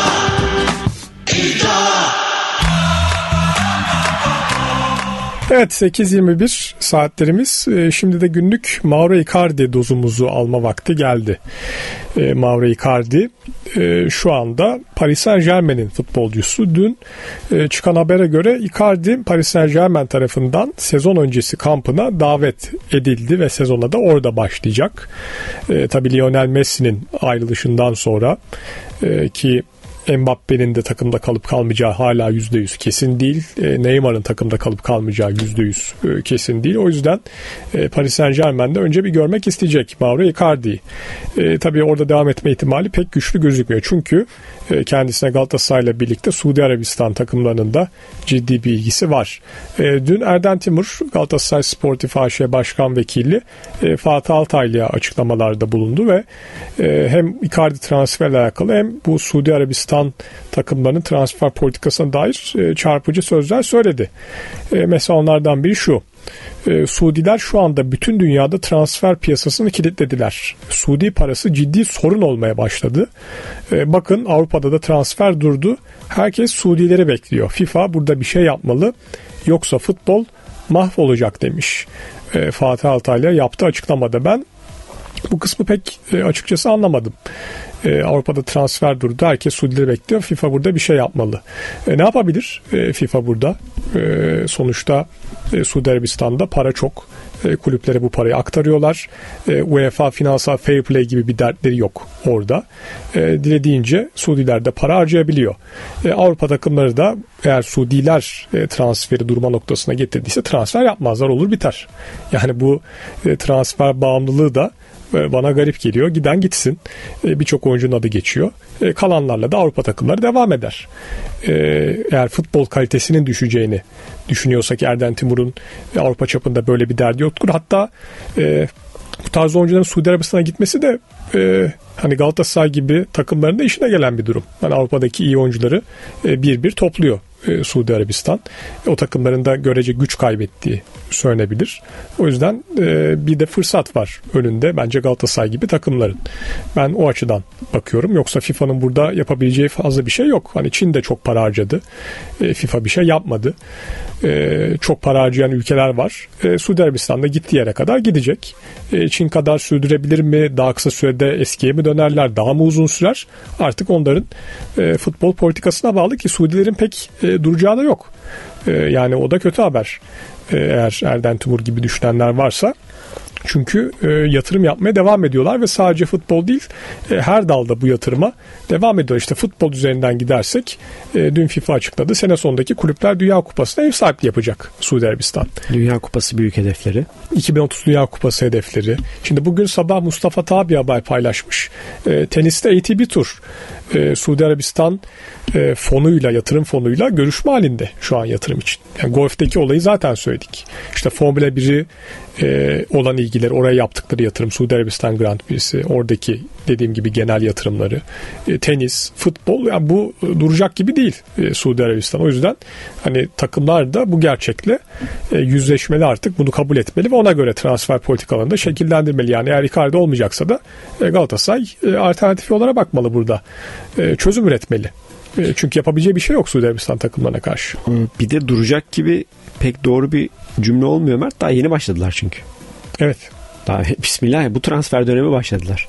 Yani frene bastılar bile bir sene falan sürer Tabii, onların tabii, bitmesi. Bir 3-4 yıl gider en az Aynen. bence de. Yani bir de FIFA'nın bir anda da hadi farz et FIFA'nın da ben de sana katılırım yapacağı bir şey yok da. Ne yapacak Farz et ki bir şey yaptı onu da bu dönem yapmayacaklar. Mümkün değil. Ee, dün Cagney'in röportajı vardı. Dikkat etmişsindir belki. Denk gelmedim hiç. Gelmedin mi? Yok. Cagney şöyle diyor. e, ben artık yapacağımı yaptım. Şimdi biraz para kazanma vakti diyor. Suudi Arabistan'a haber yolluyor yani açıklamasıyla. Oraya gitmek istiyorum diyor. Direkt ismini veriyor. Suudi Ha, Arabistan'a gitmek istiyorum diyor. E, şimdi para kazanma vakti diyor. Çünkü e, sadece kendimi düşünsem diyor 3-4 sene önce emekli olurdum. Ama sadece kendimi değil e, işte çevremi, arkadaşlarımı, ailemi de düşünüyorum diyor. Biliyorsun zaten futbolcuların etrafında böyle bir şey oluyor. Komünle beraber yaşıyorlar. Ee, özellikle e, Afrika kökenli oyuncularda bu fazlasıyla görülüyor. Batı Avrupalı oyuncularda pek olmasa da e, Afrika kökenli oyuncularda bu şekilde böyle. E, oradaki cümle benim dikkatimi çekti. Şimdi biraz para kazanma vakti kendimi düşünmeliyim. Cagne kaç yaşında? 30-31 yaşında. E, artık biliyor ki e, çok iyi bir sözleşme gelirse Suudi Arabistan'dan gelecek. İşte bu e, şu an tüm futbol dünyasında bence oyuncuların aklındaki e, sorulardan bir tanesi. Acaba bana teklif gelirse ne kadarlık bir teklif gelir ve ne yaparım? E, yıllık e, 1-2 milyon euro kazanan 3 milyon euro kazanan bir oyuncuya siz e, 30 yaşındaki bir oyuncuya 10 milyon euro teklif ederseniz e, oyuncunun hayır deme ihtimali bence çok düşük. E, bunun dışında e, isim yapmış, kariyerli, e, parayla pek derdi olmayan e, oyunculara da astronomik rakamlar verdiğinizde hani bir oyuncu az önce bahsettim yani 1-2 milyon euroluk oyuncu, 3 milyon euroluk oyuncu, 10 milyon euro verdiğiniz zaman neden hayır desin? Hani zaten o yaşına kadar gelmiş. Artık ondan sonra e, çok büyük bir kariyer atlaması yapması kolay bir ihtimal değil. E, onun o yüzden hayır deme ihtimali zayıf. Ama diğer tarafta bu kez diğer tarafta da önerilen rakamlar astronomik olduğu için e, aklının çelinmesi devreye giriyor. Yani adam belki e, daha Avrupa'da verebileceği çok şey var. Üst düzeyde rekabet edebilecek durumda. Ama 30 milyon euro sen yıllık bir rakam verdiğinde yani onun da kafası e, karışıyor ve doğal olarak e, gitmeyi tercih ediyor. A- ağırlık olarak söylüyorum bunu. E, o yüzden de hani Suudi Arabistan'ın şu anki e, hamleleri e, futbol dünyasında e, biraz böyle birbirini tetikliyor. Neden birbirini de tetikliyor? Adam diyor ki ya bak Kolibali de gitti. Ziyeh de gitti. Ronaldo zaten orada. Benzema, Kante, Benzema Ruben Neves. Kante orada. Ben niye gitmeyeyim diyor. Yani benim gitmemem için bir ne sebep var diyor. Ben yalnız değilim ki diyor. Tek değilim ki diyor. Herkes bu işi yapıyor. Ben niye yapmıyorum? Neden bu? Hocalar da gidecek Avrupa'dan. Onlara da ilgi var. E, Ben neden bu e, paraya hayır diyeyim diyor. O yüzden de e, artık bu futbolun bir gerçeği. Evet yeni bir gerçek. E, fakat e, önemli olan asıl olan e, böyle karşılaştığın durumlarda buna hemen adapte olup ona göre senin de hayatına devam ediyor olman. E, bununla rekabet edebilmek bizim için mümkün değil. E, Avrupa kulüpleri için de mümkün değil. E, o yüzden de Yani onlar para ediliyorken- üzerinden evet para üzerinden bir rekabete giremezsin. Mümkün değil.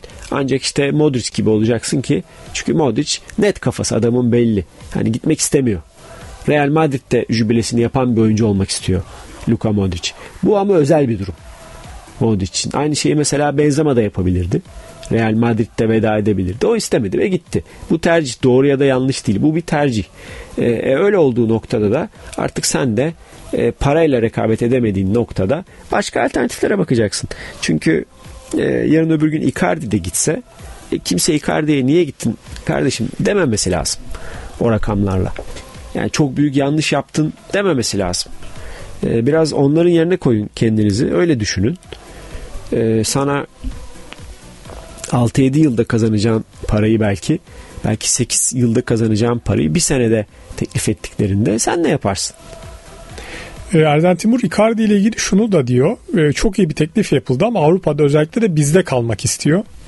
E, Suudilerin rakamlar delirmiş. E, menajerlerin gözü orada ama Icardi gerçekten çok ahlaklı bir adam ve hala Suudilere evet dememekte direniyor demiş. E, tabii ben bunu izlemedim. E, yazılı metin olarak aldım ama tabii yayında nasıl bunu ifade etti bilmiyorum ama hani buradaki ahlaklı kelimesi pek e, oturmamış bence orada. E, hani Suudilere evet dediği anda e, sanki ahlaksız olacak Evet, aynen. Ben çıkarımı evet. oluyor ama o pek hoş olmamış. Dediğim gibi yazılı metin üzerinden bunu değerlendiriyorum. Canlı yayında daha farklı ifade ettiyse bir şey diyemem. Ee, bizim birimiz Suudilerin üçünden daha geçerli Icardi için diye de eklemiş e, Galatasaray hala umutlu bu transfer e, konusunda ama işi çok kolay değil. E, temsilcisi Elio Pino'nun da dün TRT Spor'a kısa bir açıklaması var. Onu da paylaşayım. Galatasaray'la görüşmelerde şu anlık anlaşmaya yakın değiliz. Henüz böyle bir şey söz konusu değil. İki taraf arasında görüşmeler devam ediyor demiş Elio Pino. Yani yavaş yavaş sanki Galatasaray farklı seçeneklere yönelmek zorunda gibi. Galatasaray'ın o ya da bu şekilde e, sponsorlu ya da sponsorsuz 7,5 milyon euroya çıktığı söyleniyor. Evet dün Hürriyet'in geçtiği haberdi. E, 7,5 milyon euro e, inanılmaz bir rakam. Olağanüstü bir rakam. Hele şu bugünkü kur şartlarında Evet. düşünürsek tarihi bir rakam. Evet. Seçimden beri Türk lirası %25 oranında değer kaybetti. E, o yüzden de hani e, Icardi giderse kimse Galatasaray'a da ya e, ne yaptınız siz beceriksizler demeyecek. Diyemez. Dedirtmem. Net söyleyeyim dedirtmem yani. Ne yapacak daha Galatasaray ne yapacak? 7,5 milyon euro vermiş. 7,5 milyon euro nedir Mert? Yani geçen sene Galatasaray Icardi 750 bin euro oynattık diye övünüyordu. Ben inanmıyorum o rakama. Ayrı konu. Ama e, bu sene oyuncu 7,5 milyon euro veriyor. Eğer 7,5 milyon euro verdiğin oyuncuyu da tutamıyorsan artık bu hani senin açından bir başarısızlık e, olarak değerlendirilemez. Şu anda kur hesabı yapıyorum. 7,5 milyon euro çarpı 28 35 dedim. Ee, 212 milyon TL mi ediyor? 7,5 milyon euro tabi. 212 milyon TL. Icardi'ye senlik verecek ki imza parasıdır, bonuslarıdır. Çok daha fazlası da vardır o sözleşmenin içerisinde. Dolayısıyla kimse sana başarısızsın diyemez. E, böyle bir rakamı sen e, bir şekilde çıkartıp Icardi'ye e, verdiğin noktada e, bu bir tercih olur artık Icardi için de. Icardi, Icardi'ye de e, onun, o, yani Icardi cephesi için de aynı şeyi düşünüyorum. Yani az önce açıkladım durumu. Yani Icardi de yıllık e, 30 milyon euroluk bir teklife evet derse yani Icardi de e, hain olmaz. 30 milyon euro yani olacak iş değil. Van Danara zaten yani onun masrafı 20 milyon euro. Adam ne yapsın? Şaka bir tarafa. Hani bu işler böyle. O yüzden de e, hani Galatasaray zaten Galatasaray cephesi söylüyor. Elinden gelen her şeyi yapıyor Galatasaray. Eğer rakamlar doğruysa elinden gelenin fazlasını da yapıyor. E, 7,5 milyon euro vererek Icardi'ye yıllık ki senin dediğin gibi yani bunun artıları da var. Sadece 7,5 milyon euro ile kalmaz. Icardi'nin yıllık masrafı Galatasaray'a. E, bu noktada e, işler e, çok kolay değil. Icardi kalırsa çok iyi olur. Lig içinde, Galatasaray içinde. E, ancak giderse de e, kimse ne kulübü eleştirsin bence ne de Icardi'yi eleştirsin. E, zaten biliyorsun benim aklımda bir şey daha var. Yani Icardi oraya giderse 6 ayda Galatasaray'a dönebileceğini de düşünüyorum ben. Barış Ertül, Ali Erim ve Mert Elam'la Sabah Sporu artık daha iddialı. İddianın sunduğu Sabah Sporu devam ediyor. Heyecan onda, coşku onda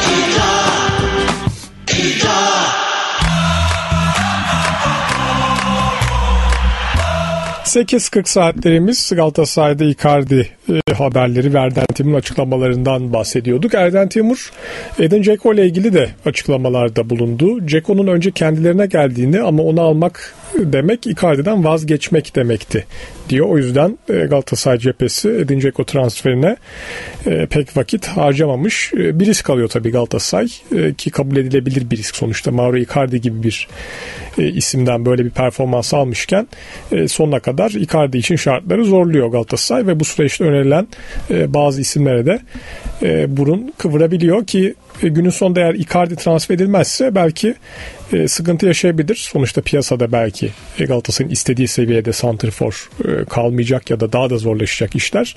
E, ama o riski de e, alıyor Galatasaray cephesi ve bu yönden de çok fazla eleştirileceğini e, zannetmiyorum. Son ana kadar transferin son gününe kadar eğer Icardi takımda PSG'de kaldıysa e, Galatasaray e, girişimlerine devam edecektir. E, tabii Galatasaray Icardi'yi getirdi, Mertens'i getirdi, dünya yıldızlarıyla anlaştı ve bu transfer döneminde de beklenti yine ona yakın isimler. E, mesela Muhammed Salah ismi hafta sonu gündeme geldi ki hani insanlar da bilmiyorum garipsedi mi garipsemedi mi ben çok garipsedim. E, Erden Timur da o garipseyen taraftan e, Muhammed Salah iddiaları için palavra diyor. Hiç alakamız olmadı. Adamın geçen yıl maaşı 18 milyon pound ve 3 yılı kontratı var. E, buna bonuslar, sponsorluklar dahil değil. E, Salah konusu yalandan da öte bir şey demiş ama e, hani prim yapmak için mi gündeme geliniyor? E, nasıl gündeme geldi? Hangi kaynaktan çıktı onu bile bilmiyorum. Sadece ben haberi gördüm. E, ama bayağı da konuşuldu hafta sonu Ben de boyunca. okudum. Ama işte e, o haberi yapanlar hayatına devam ediyor. Evet, gerçekten hani hangi kaynak yurt içi mi yurt dışı mı hiçbir fikrim yok. Kaynak gerçekten bilmiyorum. Sana. Ee, sen biliyorsun demek ki ben ona bile bakmadım. Ee, hani e, işte diyorum ben hala devam ediyorlar hayatlarına yani. Bu kadar saçmalayıp da hayatına devam edebiliyor. Ee, diğer bir haber Galatasaray ile ilgili artık Erden Timur'un açıklamalarından e, çıkacak olursa Galatasaray'da bugün bir sponsorluk anlaşması açıklanacak. Beklenti bu yönde. E, Galatasaray forma, göğüs ve stat için e, aslında aynı firmayla Sixt firmasıyla anlaştığını söyledi dün Ali Naci Küçük. E, fakat sonrasında diğer muhabirler Sixt firmasının sadece forma, göğüs sponsorluğu için anlaşıldığını, stat için Türkiye'de de operasyonları bulunan uluslararası bir firmayla anlaşmanın sağlandığı ve Galatasaray'ın oradan ciddi bir gelir elde edeceği. Hangi firma? Onu okumadım açıkçası. Yani bilmiyorum yazdılarsa da görmedim. Ama forma için Six firması şu anda ön planda hatta sağlık e, sponsoruna değiştiriyor evet, Galatasaray. Evet. E, Medicana ile anlaşacak ve az önce gördüğüm bir bilgi geçen sezon 1 milyon TL kazanırken Galatasaray sağlık sponsorluğundan şimdi 100 milyon TL e, kazanacak denilmiş. Tabi e, basına çıkan haberler bunlar Galatasaray e, detaylarını açıklayacaktır. E, mesela Ali Naci Güçlü'nün haberinde stat artı forma göğüs için e, yıllık 20 milyon eurodan bahsediyordu. 5 yıl için 100 milyon euro.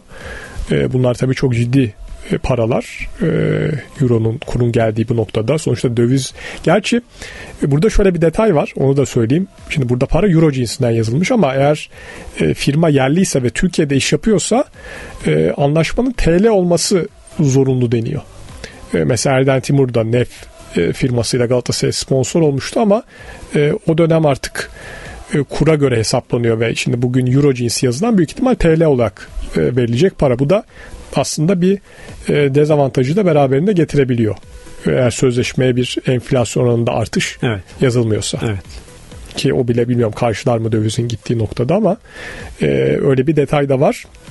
Eğer e, yurt içinden bir firma olursa anlaşma TL üzerinden e, verilmek durumunda ama e, Galatasaray buradan iyi bir e, gelir elde edecek. Aslında Beşiktaş'ın da benzer e, bir hamlesi vardı. Gerçi son haberler e, Rusya'dan gelen tabii bizim işimiz değil siyaseti konuşmak ama acaba orada bir sıkıntı olur mu? Fenerbahçe kampa gidecekti bir sıkıntı olur mu? Siyaset değil zaten bu Rusya'da yaşanan bir gelişme bir darbe girişimi oldu. Ondan sonra iş tatlıya bağlandı diyelim.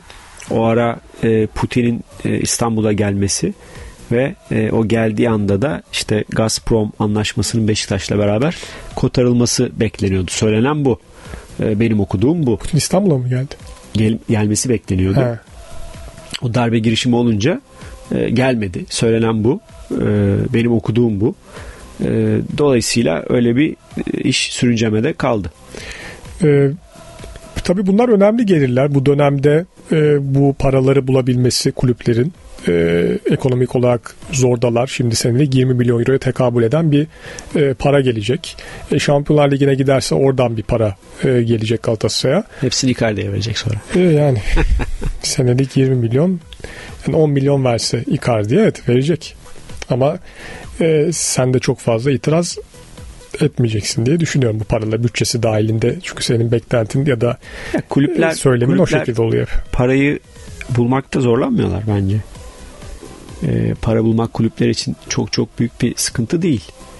Şimdi geçenlerde Murat Ülker'in ne dediğini duydunuz mu? Kaç para verdiğini mi Fenerbahçe? Valla duydum da rakamı aklımda kalmadı. benim. 500 milyon dolar verdim dedi. 500 milyon dolar verdim dedi Fenerbahçe'ye. Yani Fenerbahçe'ye 500 milyon dolar sadece bir e, iş adamından gelen rakam olmuş. Dolayısıyla hani e, kulüpler için para bulmak öyle ya da böyle zor olmuyor. Hatta Aziz Yıldırım e, ne dedi basın toplantısında? Cumhurbaşkanının yanına gitmiş. Ondan sonra 50 milyon TL mi istemiş? Evet ona para vermişsin bize de verin demiş vermişler. Vermişler yani Rıdvan Dilmen de varmış. Bunları anlattı Aziz Yıldırım. O bitmeyen basın toplantısında. Şimdi kulüpler için, büyük kulüpler için para bulmak zor değil.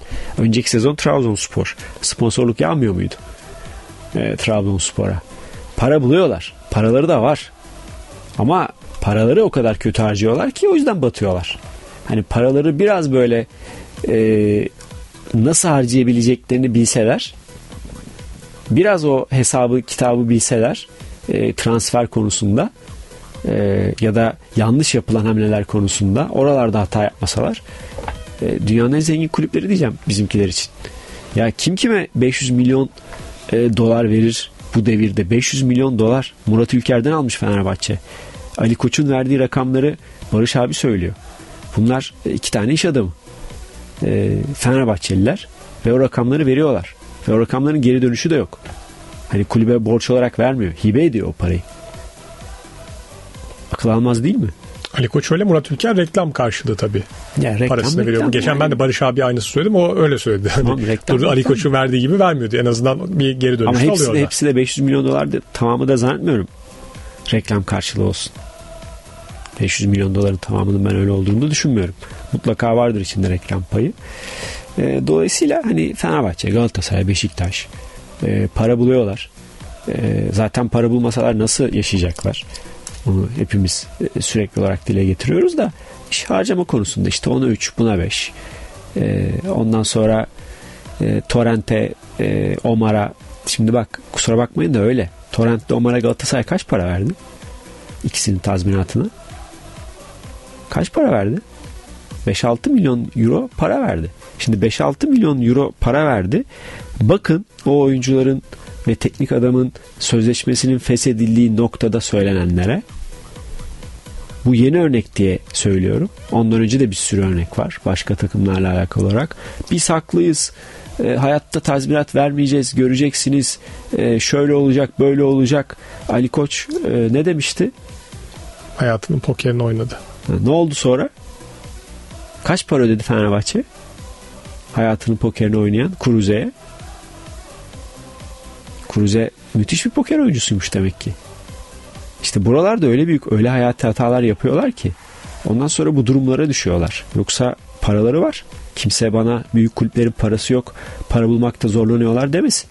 Siyaset arkalarında. Dün Barış abinin söylediği gibi alacaklar kapılarına dayanmıyor. Normalde e, sen bankaya 3 ay kredi borcu tak bakayım ne yapıyorlar sana. Sen Mert Elem olarak oldu ya kredi çektin 3 ay ödemedin. Ne yapıyorlar sana? Şey mi diyeceğim Mert Elem iyi çocuk ilk kez böyle bir hata yapıyor. E, biz de o parayı tahsil etmeyelim diyor mu banka? Demiyor. Büyüklere diyor mu? Diyor. Senin borcun 1000 lira büyüklerin borcu 1 milyar lira. O borcun peşinde koşmuyor. Senin borcunun peşinde koşuyor. E siyaset arkamda. Bankalar, alacaklılar kapıyı çalmıyor. Sürekli kayrılıyorlar. Her konuda. E ondan sonra da beceremiyorlar yönetmeyi. Yani bu akıl alır bir iş değil. Ben komiğime gidiyor. Bu kadar bu kadar bütün avantajlar senin lehineyken e, şu yönetememezlik, şu beceriksizlik, şu organizasyonsuzluk kötü anlamda e, kulüplerde bu kadar üst düzeyde olması e, beni güldürüyor. Yani bakın Torrent'te Omar gittiği anda söylenenlere bakın ya. Bir kuruş vermeyeceğiz, şöyle yapmayacağız, böyle yapmayacağız, biz haklıyız. Ondan sonra borçsuzluk kağıdı alabilmek için Torrent'in hesabına 2.8 milyon euro yatırıyorsun. Torrent Galatasaray'dan ayrıldığından beri bir kulüple çalışmıyor. Bir kulübe gitmemiş adam. E, akıl almaz bir israf var e, büyük kulüplerde. Akıl almaz bir iş bilmezlik var. Onun da cezasını çekiyorlar. Ama güzel bir düzen yani. Hoş bir düzen. Keşke ben de büyük kulüpte yönetici olsam. İsterim yani böyle yaşamayı. He, her şeyi yapacaksın. Bütün hataları yapacaksın. Sıfır sorumluluğun olacak. Ve bunu söyleyene taraftar kızıyor. Kendi kulübüne kızması gerekirken bunları söyleyene taraftar kızıyor. Bunu söylüyorsun. Vay işte Galatasaray düşmanı. Bunu söylüyorsun. Aa Fenerbahçe düşmanı. Bunu söylüyorsun. Beşiktaş düşmanı. Ya kardeşim bir önünüze bakın. Kulüplerin neler yaptığını, nasıl yönetildiğine bir bakın. Bir zahmet taraftar olarak. Öyle e, Twitter'dan klavye delikanlılığı yapacağınıza, rakibinize küfür edeceğinize, sağa sola küfür edeceğinize bir şunlara bakın. Neler olduğunu, neler döndüğüne, kulübün ne kadar para harcadığına, neleri kaybettiğine bakın. Ondan sonra ben taraftarım deyin. Öyle bir bilinç de yok. Taraftarın umurunda da değil. Yani mesela e, Fenerbahçe'nin e, Kuruze'ye ödediği rakam işte Beşiktaş'ın zamanında ödediği tazminatlar onlar da akıl almaz rakamlar. Galatasaray'a ödedikleri adam götürür ya adam götürür. Orada o işi yapan bir kişi görevde kalamaz. Normal bir yerde, normal bir kulüpte. Bir kişi görevde kalamaz. Yaprak kıpırdamıyor büyük kulüplerde. Ve işin kötü tarafı ne biliyor musun? Ee, bu kulübü sahiplenmiş gözüken e, medyadaki e, muhabirler, medyada o kulübün yorumculuğunu yapan tipler de arkasından bu isimlere küfür ediyorlar. Yani Omar Türkiye'deyken çok önemli oyuncu, ne kadar iyi oyuncu, ne kadar e, işte dürüst insan, ahlaklı insan. E, adam gidiyor, tazminatı kazanıyor. Neredeyse arkasından küfür etmedikleri kalıyor. Ve bunları utanmadan yazıyorlar. Ve bu, bu insanlar da iş yapmaya devam ediyorlar bu sektörde. Yani böyle bir garip bir dünya içerisindeyiz. Teşekkür ederim. Sözlerim bu kadardı. Barış Ertül, Ali Erim ve Mert Elam'la Sabah Sporu artık daha iddialı. İddianın sunduğu Sabah Sporu devam ediyor. Heyecan onda, coşku onda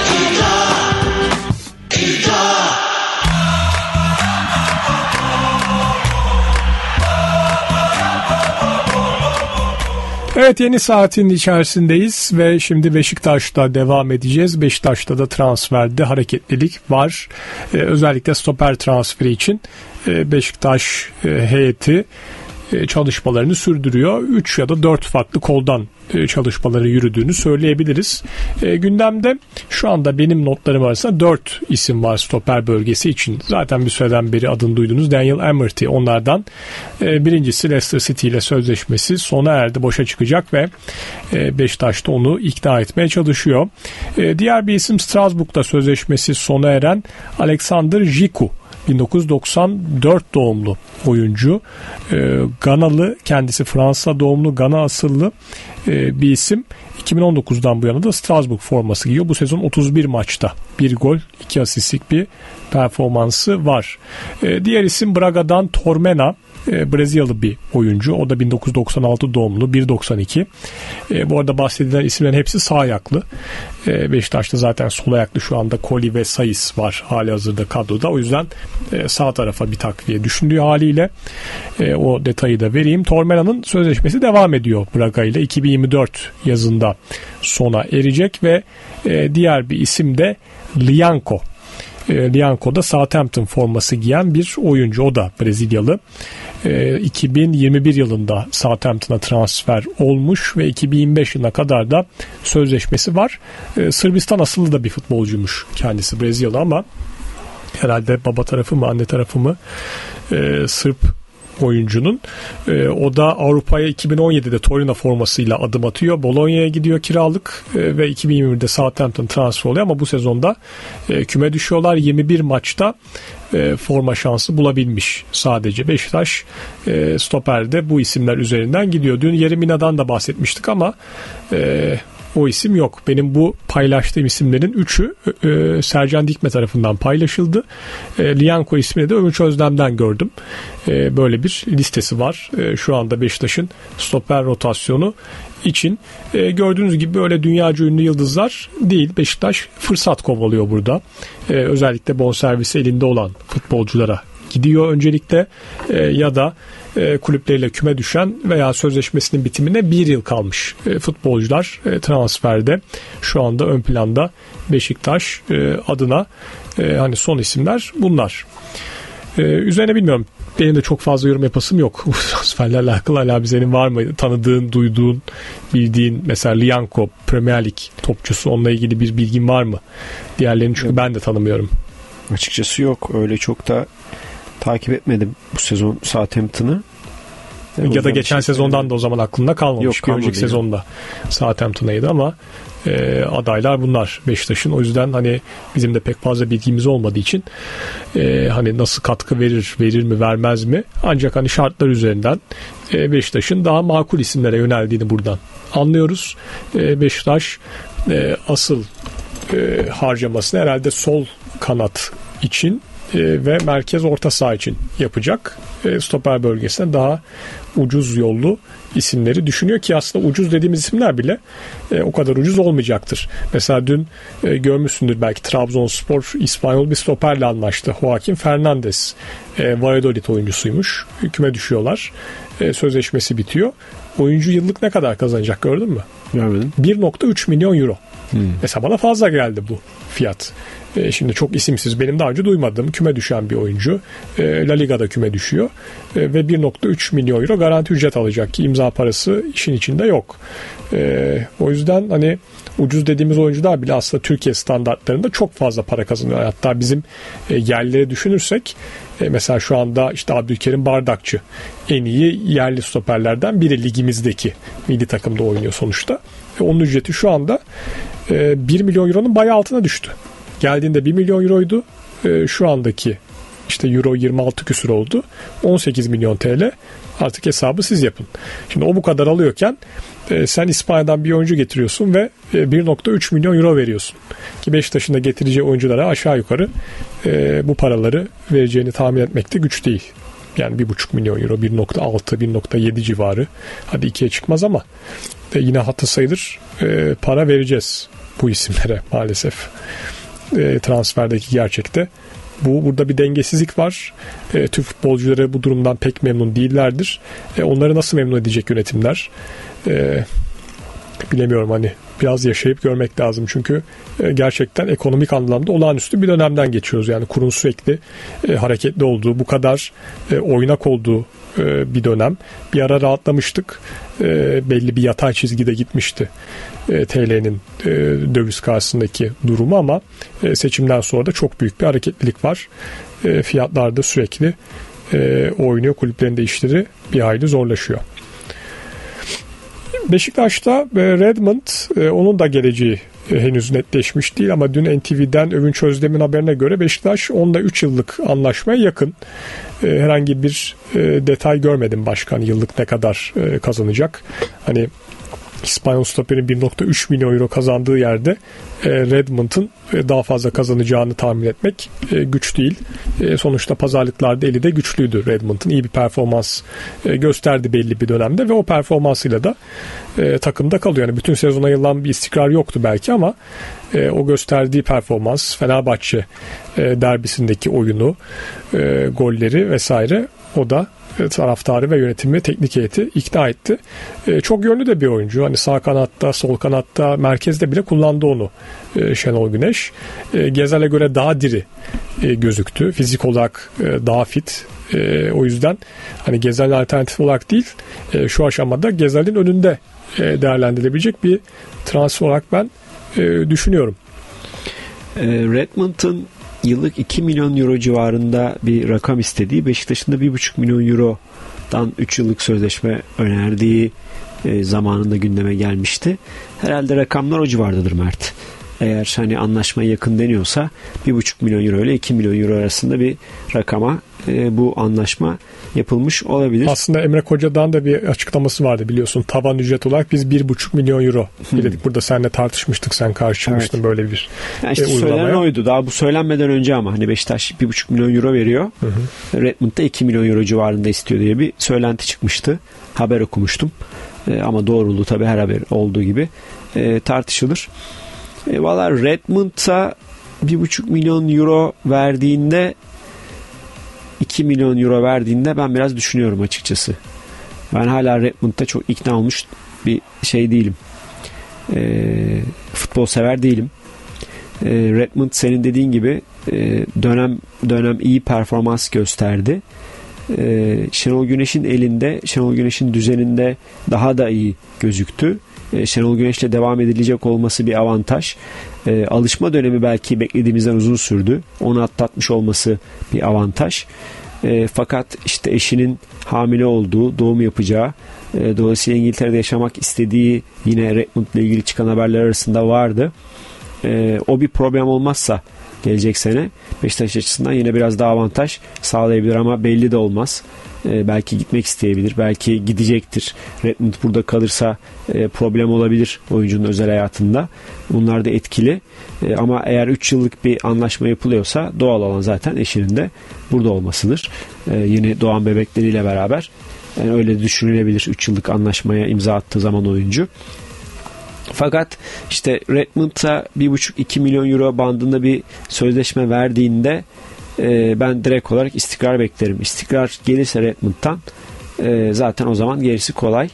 E, fakat Peki ilk 11'de bir istikrar bekliyorsun Gezel önünde yoksa sonuçta e, senin kadro planlamanda iyi bir yedek de olması gerekiyor Evet. takımlarda. E, o tamamen Gezel'le alakalı Mert. Normalde Gezel iyi olduğu zaman e, Gezel kimse kesemez. Beşiktaş'ta öyle bir oyuncu yok. Beşiktaş'ın Gezel'e de çok ihtiyacı var bu arada. Yani müthiş ihtiyacı var Gezel'e Beşiktaş'ın. E, fakat Gezel olmadı. Geçen sene sakatlıklar sebebiyle olmadı. E, bu sene eğer sakatlık yaşamazsa Gezel'in ben biraz daha motive olacağını düşünüyorum geçen seneyi unutturmak açısından. E, o zaman işte Redmond e, dediğin gibi yedek kalır. Yedek kaldığı noktada da e, bence de e, hani yedekten öyle bir oyuncuya ihtiyacım var sonuçta. E, fakat işte Redmond 11'de oynayacağını mı düşünüyor? Hani kendini nasıl konumluyor? O da bir e, ayrı tartışılması gereken nokta. Onu da unutmamak gerekiyor. Hani Redmond'la nasıl konuşuldu? Sen 11 mi oynayacaksın? As oyuncusun. Öyle mi? Yoksa e, Cenk'le Gezel'in Abu Bakar'ın sağlıklı olduğu noktada sen hani kenardan gelecek ilk tercih mi olacaksın? O mu şu mu bu mu onu bilmiyorum. Onlar da çünkü zaten e, biliyorsun oyuncularda problem yaratabiliyor zaman zaman. E, onu biraz zaman gösterecek. E, fakat işte orada belirleyici olan oyuncu Gezel.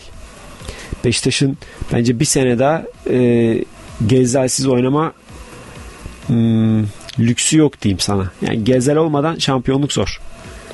Beşiktaş'ta. ama iyi getirdi Beşiktaş Gezel'sizde. Yani Gezel olmadan şampiyonluk zor. Yok katılıyorum. Gezelsiz iyi bir Gezel çok ihtiyacı var ama hani günün sonunda Gezelsiz sezonu son ana kadar da getirdi Beşiktaş toparladı. Son ana kadar. E, ama Gezelsiz şampiyonluk zor. Ali abi takıldı zannetmeyin. Farklı şekilde söylüyor Gezelsiz şampiyonluk. Gezelsiz şampiyonluk Zor. zor. Gezel performansına ihtiyacı var Beşiktaş'ın her anlamda. E, çünkü e, Daha kaç yıllık sözleşmesi var bir de Gezel'in? ya ikidir ya biridir. Daha var 2025'e kadar mı var? Gezel'in bakayım hemen. 2024'müş ama bir opsiyonu daha var galiba. Gezel'in. Artı opsiyonu var. Evet opsiyon gözüküyor. Transfermarkt'tan bakıyorum. Gezel de 31 yaşında. 92 doğumlu. Artık çok daha genç değil. Bir de hani vücudu sanki biraz daha yaşlı gibi. Hani bazı oyuncular vardır. Ee, daha ağır. Ee, Gezel'de sanki hızlı futbolu bırakacak bir vücut tipi İnşallah var öyle gibi. olmaz. İnşallah öyle olmaz ama evet biraz o bir yani bu sene bayağı büyük bir soru işaretiydi Gezel'de. Ee, işte kendini zorlaması, erken dönmek için e, biraz baskı olması oyuncunun üzerinde. Bunlar e, zorladı çünkü Gezel'in sakatlandığı noktada Beşiktaş böyle çok kritik maçlar oynuyordu ligde. Hatırla Trabzon maçında sakatlandı. E, Trabzonspor maçı zaten Beşiktaş'ın hani devam eder mi etmez mi lige karşılaşmalarından bir tanesiydi. E, o yüzden de oyuncu erken dönerek biraz kendini de e, feda etmiş olduğu yanlış bir şekilde. Çünkü sezon içerisinde daha çok ihtiyacı vardı Beşiktaş'ın. E, eğer Gezel'in e, yine e, böyle inişli çıkışlı bir sezon geçireceği e, gerçeğiyle yaşarsa Beşiktaş o zaman zaten Redmond olmazsa olmaz. Başka Redmond'u da kesecek bir oyuncu yok Beşiktaş'ta şu an. E, kadroda olması evet iyi Redmond'ın iyi bir 12. adam olarak e, fakat işte tek Redmond'a kalırsan o zaman sezon boyu performansı beni düşündürüyor açıkçası. E, peki burada genel bir şey e, sorayım. Transfer sezonu dün itibariyle açıldı. E, Fenerbahçe burada en hızlı e, giden taraf şu ana kadar iki transfer açıkladı. E, Beşiktaş'ta e, henüz öyle bir isim yok. Mesela hani ben kanat ve merkez orta sahaya asıl yatırım yapacağını söyledim ama orada da haberler kesildi sanki son 3-4 günde. E, hani Kuzuya Ev'dir, Ekambi'dir. E, onları pek fazla duymuyoruz. İşte Galatasaray'da henüz çok fazla bir hareket yok. Trabzon o da bonservisiz oyuncular üzerinden e, gidiyor genelde ki aslında Fenerbahçe'ninki de öyle biraz. E, bu ekonomik durumla mı alakalı acaba harcama yapma konusunda e, takımlar imtina ediyorlar. Genelde böyle bonservisi olmayan futbolcuları e, açıklıyorlar. E, ben daha erken hamlelerde bekliyordum açıkçası. Ekonomik durum %100 etkili. E, fakat Beşiktaş'ı şu an sahaya çıkartabilir misin? Çıkartırım. Çıkartırsın değil mi? Hı hı. Yani Beşiktaş'ın ne olduğu belli. Şu an Beşiktaş'ta eğer ayrılan bir oyuncu olmazsa Salih Getson, Hacı Ahmetoviç. Belki sağ stoper orada bir soru işareti olabilir. Olabilir tabi. Ama çıkartabiliyorsun şu e an. Yine sayıs varsa sayısıyla koliyi çıkartırım. Çıkart. Ee, son haftalarda Redmond yokken kim oynadı sağ önde? Mulek oynadı. Muleka da oynadı. Tayfur da oynamıştır. Ee, başka? Yani Abu Bakar, Cenk sakat. Ee, hadi Muleka oynattın. Tayfur oynatabilirsin. Yani bu kadro... Gerçi Tayfur da kiralık bu arada. Tayfur da kiralık doğru. O da var. Oynatamazsın şu an. Semih'i oynatabilirsin. Aynen. Başka hücumcu? Enkudu da gitti. Hani gelecek olanlardan belki Hasic ve Emirhan Delibaş o bölgede oynayabilir ama oynatmazsın hı. sen. Oğuzhan var. Oğuzhan Akgün var. Gelecek olanlardan. Hı hı. Ee, savunmada e, Masu Akun işte sağ tarafına şey oynatabilirsin. Onur Bulut'u önlü arkalı oynatabilirsin. Ha onu denedi doğru. Onu da denedi. E, Rozier ile. Şu açıdan söylüyorum yani Beşiktaş'ta öyle e, çok ölümcül bir aciliyet durumu yok e, transfer açısından. E, ekonomik durum %100 etkili. Senin söylediğin gibi. Fakat transfer ne zaman bitiyor? Haberiniz var değil mi? Çok. Eylül'ün ortasında bitiyor. Yani anormal bir süre var transferin bitmesine. Ve bizim takımlar da e, biraz bu bekle gör stratejisini uygulayacaktır diye düşünüyorum. Hatta oyuncu tarafının da oyuncu taraflarının da ben yine bu bekle gör stratejisini uygulama ihtimali var. Şimdi e, Suudi Arabistan etkisiyle e, bazı oyuncular gidecek Suudi Arabistan'a. Onlar gittiği noktada e, bu kez herhalde e, başka oyunculara beklemedikleri takımlardan teklifler gelecek. E, o boşlukları doldurabilmek için.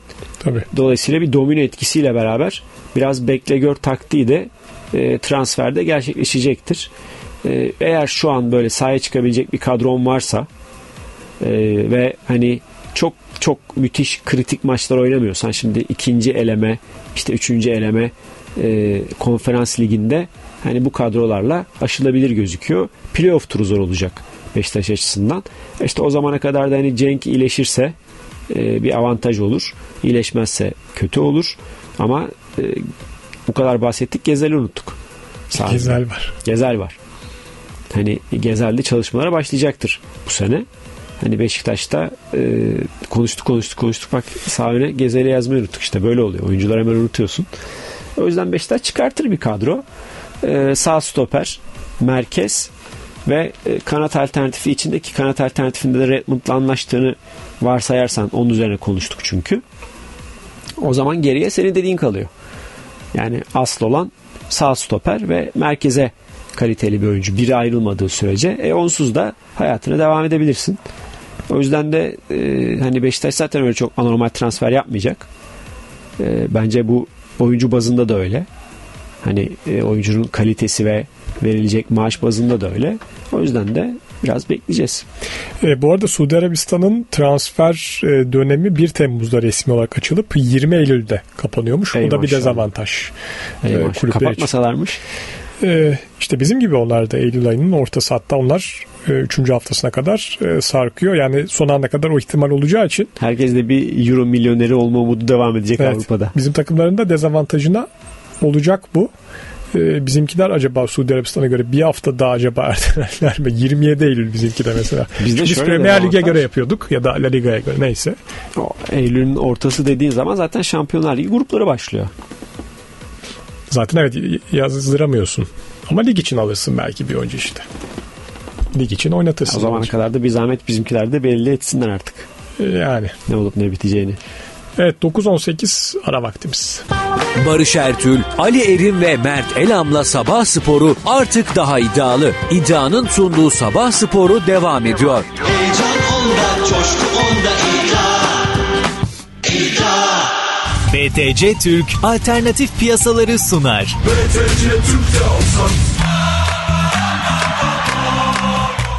Evet alternatif piyasalar bölümündeyiz. BTC Türk'te Bitcoin'in fiyatını sizlere aktaracağım. Şu anda bir Bitcoin 30.275 dolardan işlem görmekte.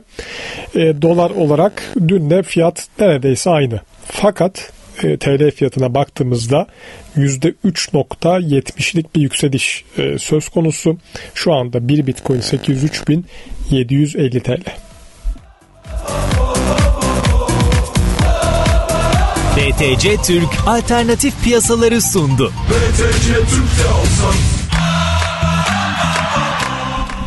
Evet şimdi iddia bölümündeyiz. İddia ile ilgili hatırlatmamızı yapalım. Bugün e, Avrupa Şampiyonası'na U21 Avrupa Şampiyonası'nda grup aşaması karşılaşmaları var. Saat 19'da Hollanda, Gürcistan ve Portekiz, Belçika. 21.45'te de B grubunda Hırvatistan, Romanya ve İspanya, Ukrayna karşılaşmaları oynanacak. E, bu karşılaşmalar e, normalden daha yüksek oranlarla sadece iddia.com'da olacak günün bülteni. Bu şekilde siz de e, kuponunuzu iddia.com veya iddianın mobil uygulamasından oluşturup e, bu fırsatlardan yararlanabilirsiniz. E, bugün eğer tabi sadece bu maçlar yok farklı maçlar bakıyorsanız e, iddiada Finlandiya Ligi'nden karşılaşmaları MBS 1 olarak açıldığını söyleyeyim ki hepsinin de başlama saati 18 e, 6 maç gözüküyor Finlandiya Ligi'nde. E, yarın da yine U21 e, karşılaşmaları olacak. MBS 1 olarak oynanabilecek bir İngiltere, Almanya ve İsviçre, Fransa karşılaşmaları mevcut. Evet iddia ile ilgili durum bu şekilde. Şimdi e, birkaç mesaj okuyayım. Bu süreç içerisinde mesajlarınız da gelmiş. E, Ozan demiş ki günaydın kolay gelsin. Icardi'de alınan riski anlayabiliyorum. Birinci santrfor oynayacak ama şu anda elimizde hiç santrfor yok. Yani Icardi gelse bile onu yedekleyecek futbolcu da yok. Bunun için bir çalışma var mı acaba diye sormuş. E, muhakkak yani e, sizin benim gördüğüm Galatasaray yönetimi ve teknik heyetinin görmemesi mümkün değil. Galatasaray e, yedek santrfor için de çalışmalarını Icardi ile paralel şekilde sürdürüyordu. Zaten dün birkaç isim e, burada gündeme geldi. İşte onlardan biri Iheanacho'ydu. E, diğeri Luka Jovic. E, bu isimler hani Icardi'nin yerine değil de Icardi'nin arkasına e, değerlendirilebilecek isimler. Jovic e, bu sezon Fiorentina'da ağırlıklı olarak yedek kulübesindeydi. Iheanacho e, dönem dönem ilk 11 oynadı ama o da düzenli şekilde ilk 11 oynayan bir isim değildi. O yüzden bu tarz isimleri Galatasaray transfer edip e, yedek kulübesinde eğer Icardi'yi tabi alırsa bekletebilir ama Icardi'yi alamadığı noktada e, planı nasıl olacak? Yine Icardi seviyesine yakın bir isme mi gidecek yoksa e, az önce bahsettiğim Ihanacho Jovic seviyesinde bir isim daha alıp bu iki ismi forma rekabetine mi sokacak? Yani bu tabii çok ideal bir durum değil. E, futbol takımlarında hani bir numaranın belli olması orada beklenir. E, 1 ile 2 arasında bir fark olması beklenir ki ikinin de çok tabi e, seviye olarak düşük olmaması da tercih edilir ama e, orada kimin ilk 11 oynayacağı belirsiz olduğu noktada e, işte bir ismini başlarsınız e, performans vermez öbürüne dönersiniz. O vermez öbürüne dönersiniz. Orada bir kafa karışıklığı yaratılabilir. O yüzden Galatasaray'ın da bunu e, iyi hesap etmesi lazım diye e, düşünüyorum transferde. Ama tabii bu dile kolay bir şey. E, transferde her zaman planlamanız hayata geçmeyebiliyor. Sonuçta konu Icardi olunca Icardi'yi kaybetme ihtimali çok yüksek Galatasaray'ın ve Icardi seviyesinde bir center for bulmak da o kadar zor. E, Galatasaray e, çok zor bir yola girdi. Bakalım buradan. Peki Icardi konusu çok çok uzar mı? E, ne anlamda soruyorsun? Uzayabilir. Yani Nasıl uzar? Icardi düşünmek için süre ister. E, Van Danara Suudi Arabistan'a gitmesini ister. Icardi Avrupa'da kalmak ister. E, ikisi anlaşamaz. Karar veremezler. Süreç uzar. Belki Paris Saint Germain e, takımda tutmak ister. E, işte Neymar'ın da ayrılma ihtimaline karşı. Bilemiyorum hani her şey olabilir. Gider 15 Eylül kadar da sürmez tabii ki ama hani Temmuz sonuna kadar da netleşmezse ben çok şaşırmayacağım. Bir ay daha sürer diyorsun. Şaşırmayacağım diyorum. Sürer demiyorum. Sürerse şaşırmayacağım. Sen o kadar uzun sürmeyeceğini düşünüyorsun böyle şaşırdığına göre. Yani şöyle hani e, şu an giden oyuncuların e, Suudi Arabistan'da takımla alakalı bir sorunları yok.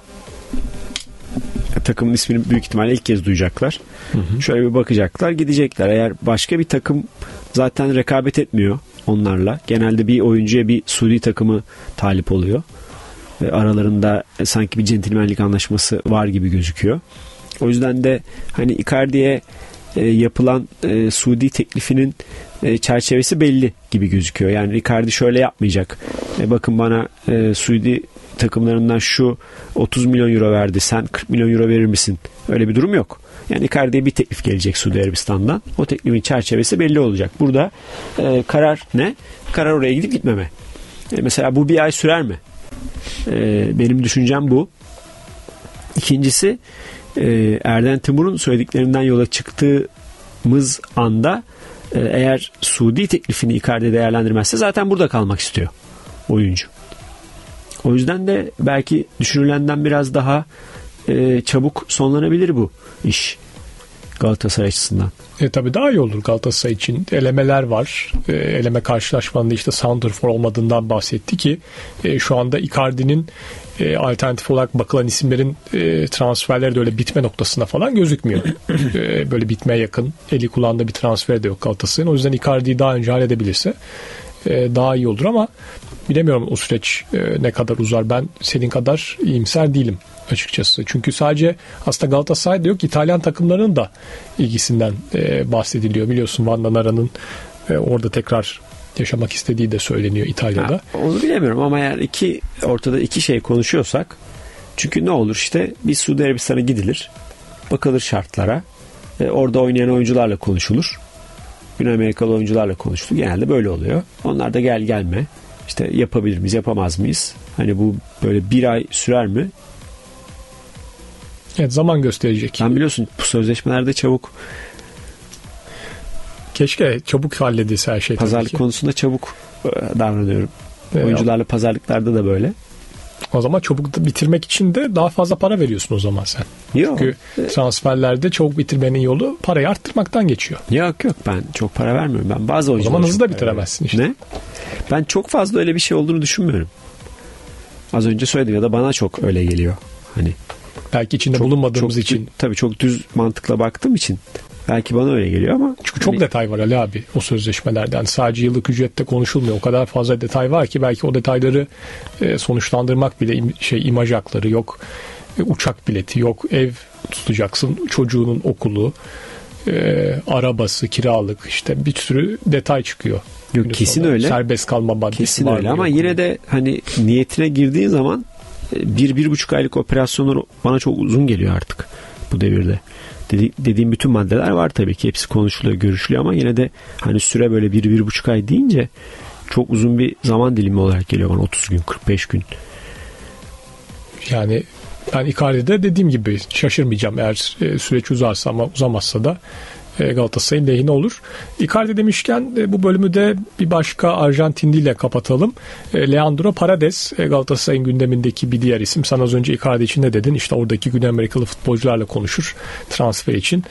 Olursa olur olmazsa olmaz. Paredes'te de çıkan haberlere göre yaşanan bu. Icardi Paredes'i Galatasaray transfer olması için ikna ediyor. Oyuncu da çok sıcak bakıyor.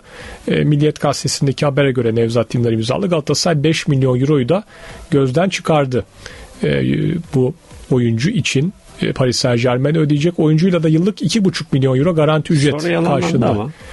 anlaştı. Bugün haberi daha yeni haber. Bugün paylaştı Milliyet'teki haberi. Nevzat Dindar'ın. Tam Milliyet'teki haberi paylaşır da Milliyet gazetesi dün basıldı, dün gece basıldı. Dün gece ben anlaşma yok diye bir yabancı kaynaklı şey okudum. Hı hı. Bir tweet okudum. E tabii kaynak... Görüşmedi diye hatta öyle söyleyeyim sana. Yani Galatasaray'la Paredes görüşmedi. O derece bir haber okudum. Ama 2-3 haftadır Paredes ismi e, gündemde. E, bilmiyoruz tabii yabancı kaynak kim e, Hatta şöyle dendi işte Paredes gelirse Torreira gidiyor dendi. Haberlerin kurgusu da o yöndeydi. Onu da arada söyleyeyim dedim. Belki de görüşme var da.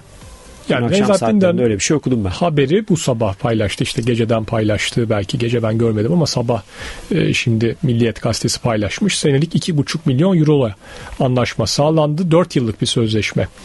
E, önerecek Galatasaray Parades'e ve kulübüne de Paris Saint Germain'de ki Paris Saint Germain'de sözleşmesi de bir yıl sonra sona eriyor. 5 milyon euro e, gözden çıkarmış. Tabi bonservis pazarlığı şu aşamada devam ediyor deniyor. Parades için geçen sezonu Juventus'ta kiralık e, geçirmişti. E, 35 maçta forma giymiş Parades. Bir gol bir asistlik bir performansı var. E, haberde bir de geçen yaptığı bir açıklama var. E, Boca Juniors'a transfer ihtimali konuşulmuş. E, bugün Boca'ya dönmek kafamda değil. 28 yaşındayım, gencim ve Avrupa'da oynamaya devam etmek istiyorum.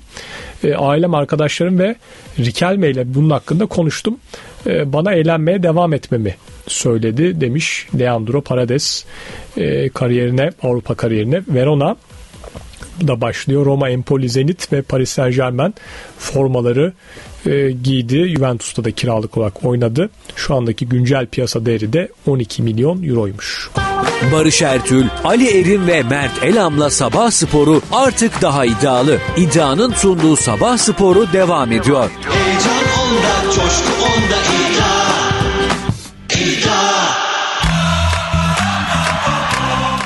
Evet son bölümdeyiz. Ee, son bölümde teknik direktör gelişmelerini sizlere aktarayım. Dün Sivas Spor'da e, teknik direktör belli oldu. Sivas Spor'un açıklaması şu şekilde. Servet Çetin A takımımızın teknik direktörü oldu. Demir Grup Sivas Spor'umuzda hem futbolcu hem de yardımcı antrenör olarak görev yapmış eski milli futbolcumuz Servet Çetin yeni dönemde teknik direktör olarak kulübümüze hizmet verecek. 4 sezon kulübümüze en iyi şekilde hizmet veren Servet Çetin'in hem Sivas'ı hem de mevcut oyuncu grubumuzu en iyi tanıyan isimlerden biri olarak bu görevi layığıyla yerine getireceğine şüphemiz yoktur. 2017 yılından itibaren farklı takımlarda antrenör olarak görev yapmış hocamızın artık bilgi birikimini teknik direktör olarak aktarmasının hem Sivas hem de Türk futbolu için bir kazanç olacağını düşünmekteyiz.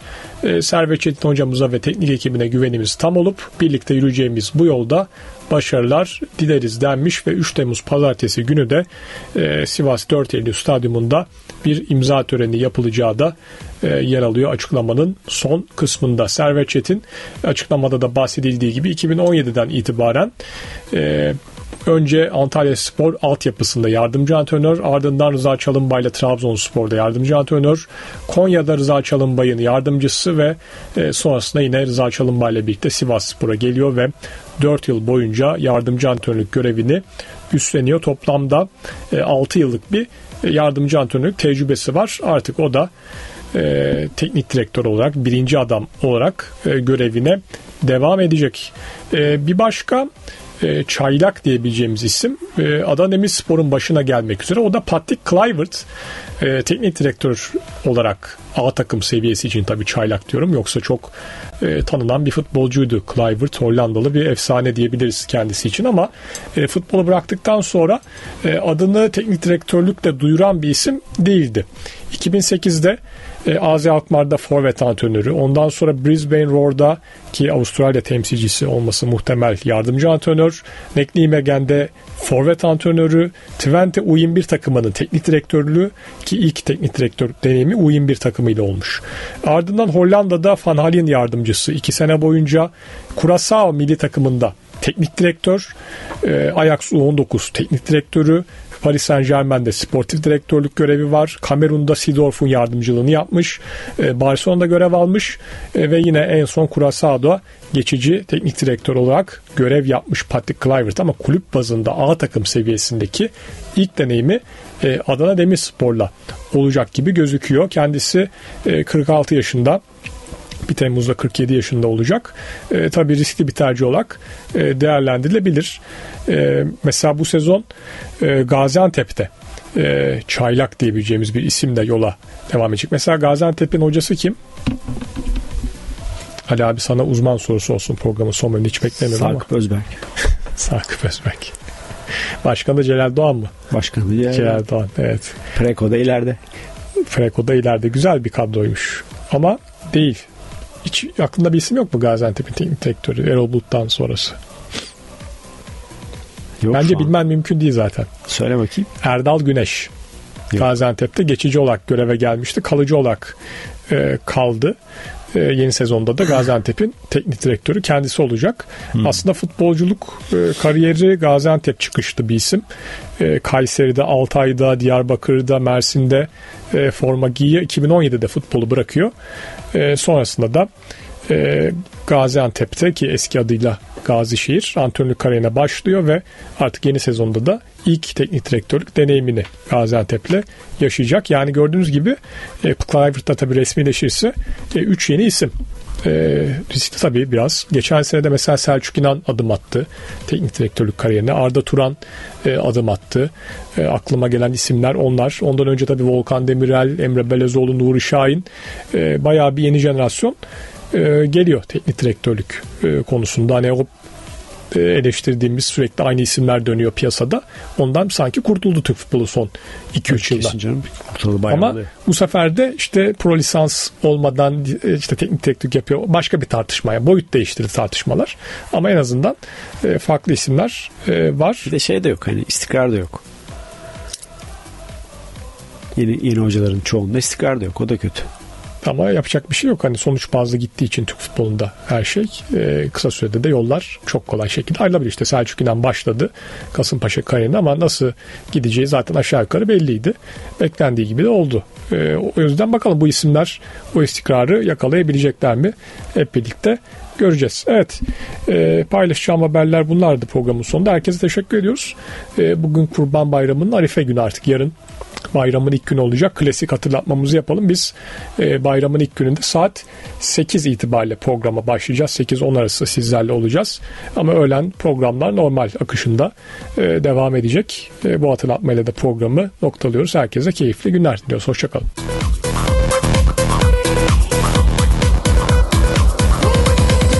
Barış Ertül, Ali Erim ve Mert Elam'la Sabah Sporu artık daha iddialı. İddia sundu. Heyecan onda, coşku onda